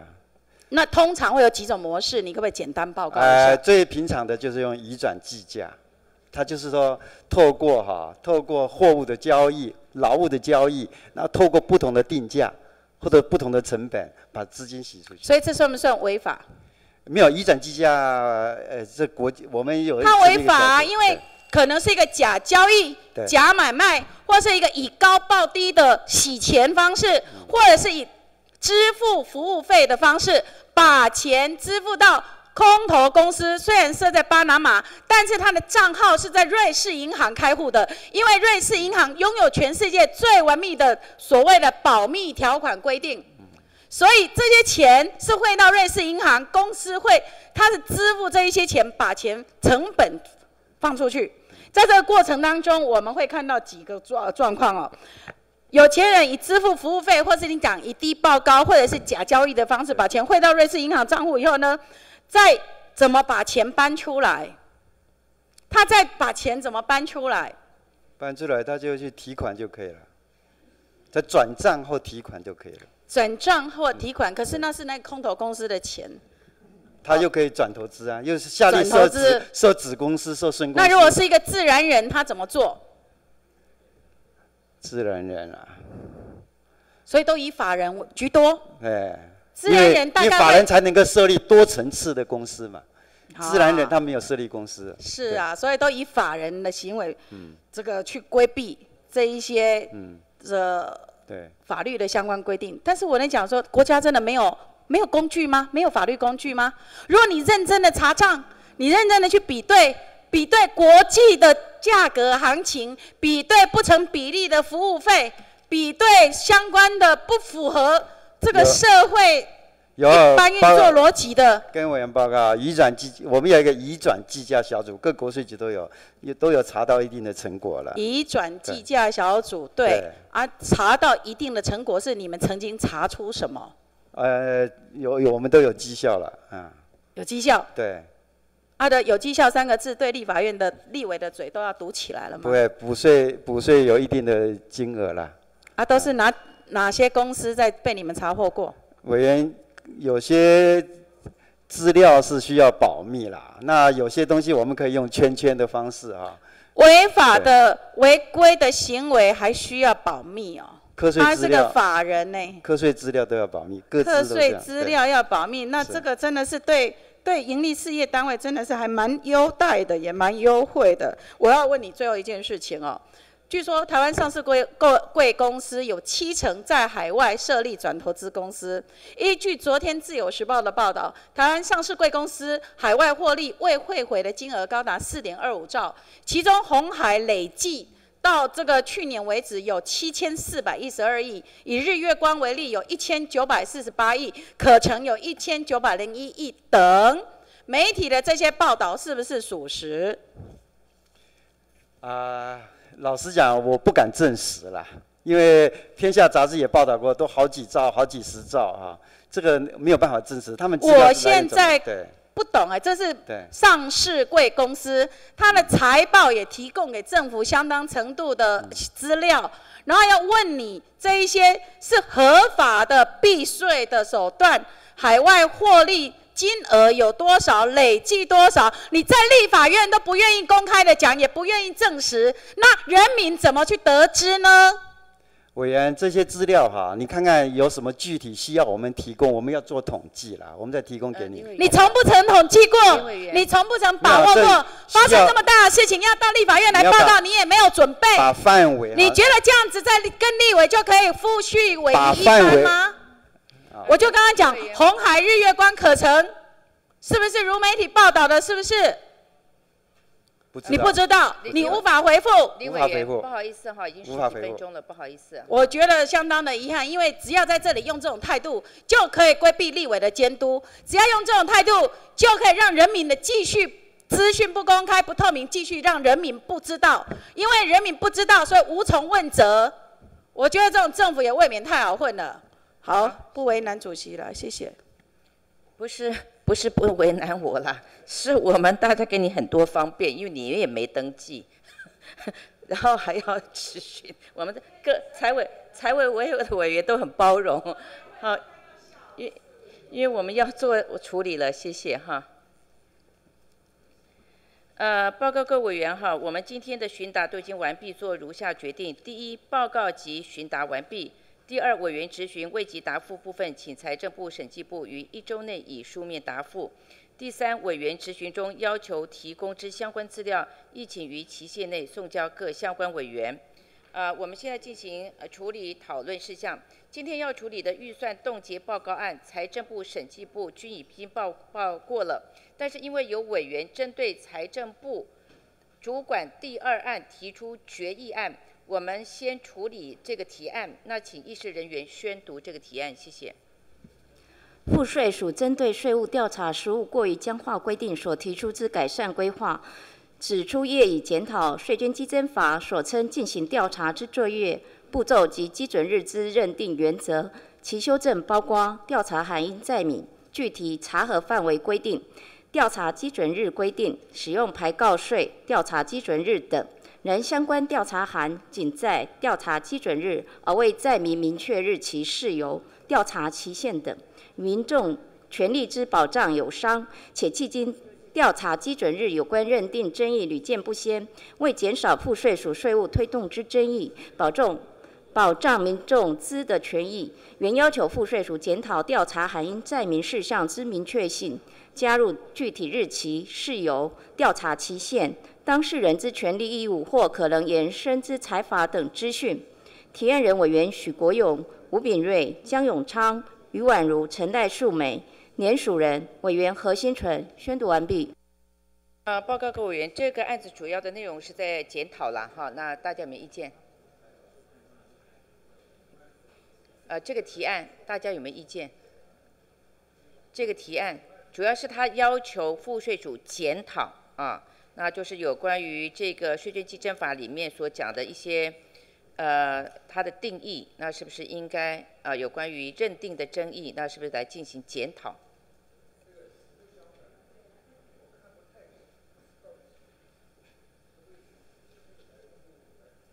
啊，财政部，谢谢。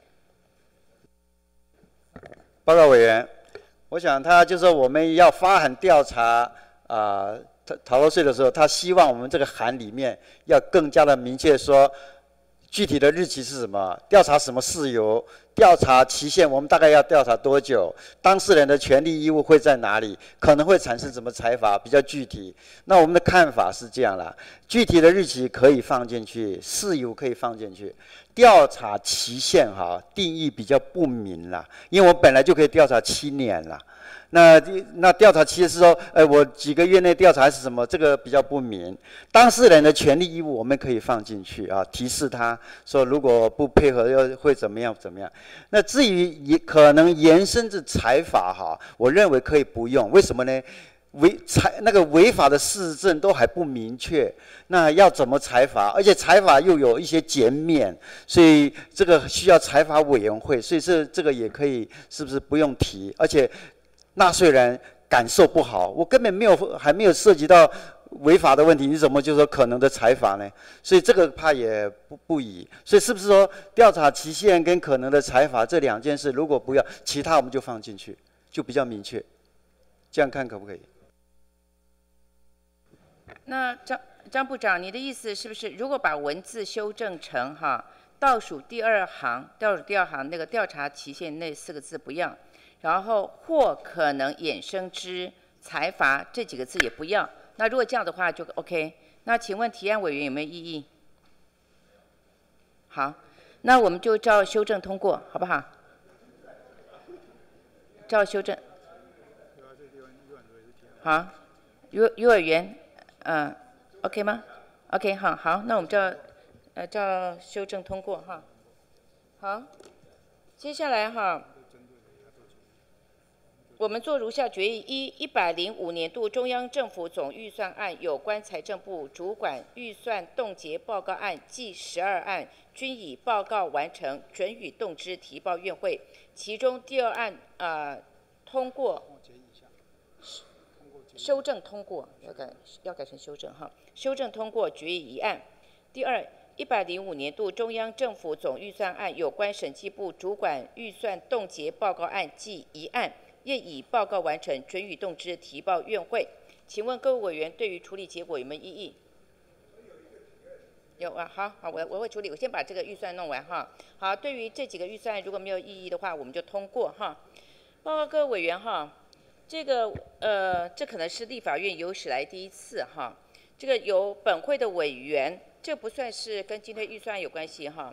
那本会的委员提出排案建议，排案建议哈，就是这可能是有史以来，因为过去的这个呃招委的排案，那主要是根据招委的经验啊，还有这整个会议的这个呃它本身的节奏，或者是由委员私下建议哈来进行排案。那现在有呃本会的委员好几会委员哈。专门为了排案提出一个建议啊，提出一个案子哈。那我把这个案名大家呃念一下哈。针对浩鼎案风波不断，请财政部就该案是否涉及逃漏税，金融监督管理委员会就该案是否涉及内线交易、炒作等违反证券交易法等，建请财政委员会召开秘密会议。厘清相关争议，啊，厘清相关争议。那这可能是立法院，呃，我不晓得是不是空前哈，呃，有史以来第一次以书面文字的方式，委员正式提案的方式哈，来呃提请这个排案建议。那第一个呢，除了这四位委员以外，那呃，是不是说是否还有其他的委员要参与联署？譬如说徐国勇委员。那刚才其他委是不是要参与联署哈？这是第一个，麻烦提案委员再去问一下，还有没有其他委员要参与联署哈？第二个哈，第二个呃，因为这个排案权哈，呃是由招委来负责。那下周的轮值主席是徐国勇委员，好，徐国勇委员。那现在可能这几天就要决定下周的议程，所以基于就是尊重哈。基于尊重哈，那所以我们会先把这个这样子一个建议哈，送给徐国勇委员哈，送给徐昭伟哈，那他呃是否是否觉得很紧急，有必要性？然后这请徐昭伟哈下礼拜排入议程哈，是不是接受各位委员的建议？那如果没有话轮值到我的话，那我再来做呃再呃再来了解哈。那先先转转给徐昭伟哈，谢谢。好，呃，今天我们的议程已经进行完毕哈，现在休息，谢谢大家辛苦了，谢谢。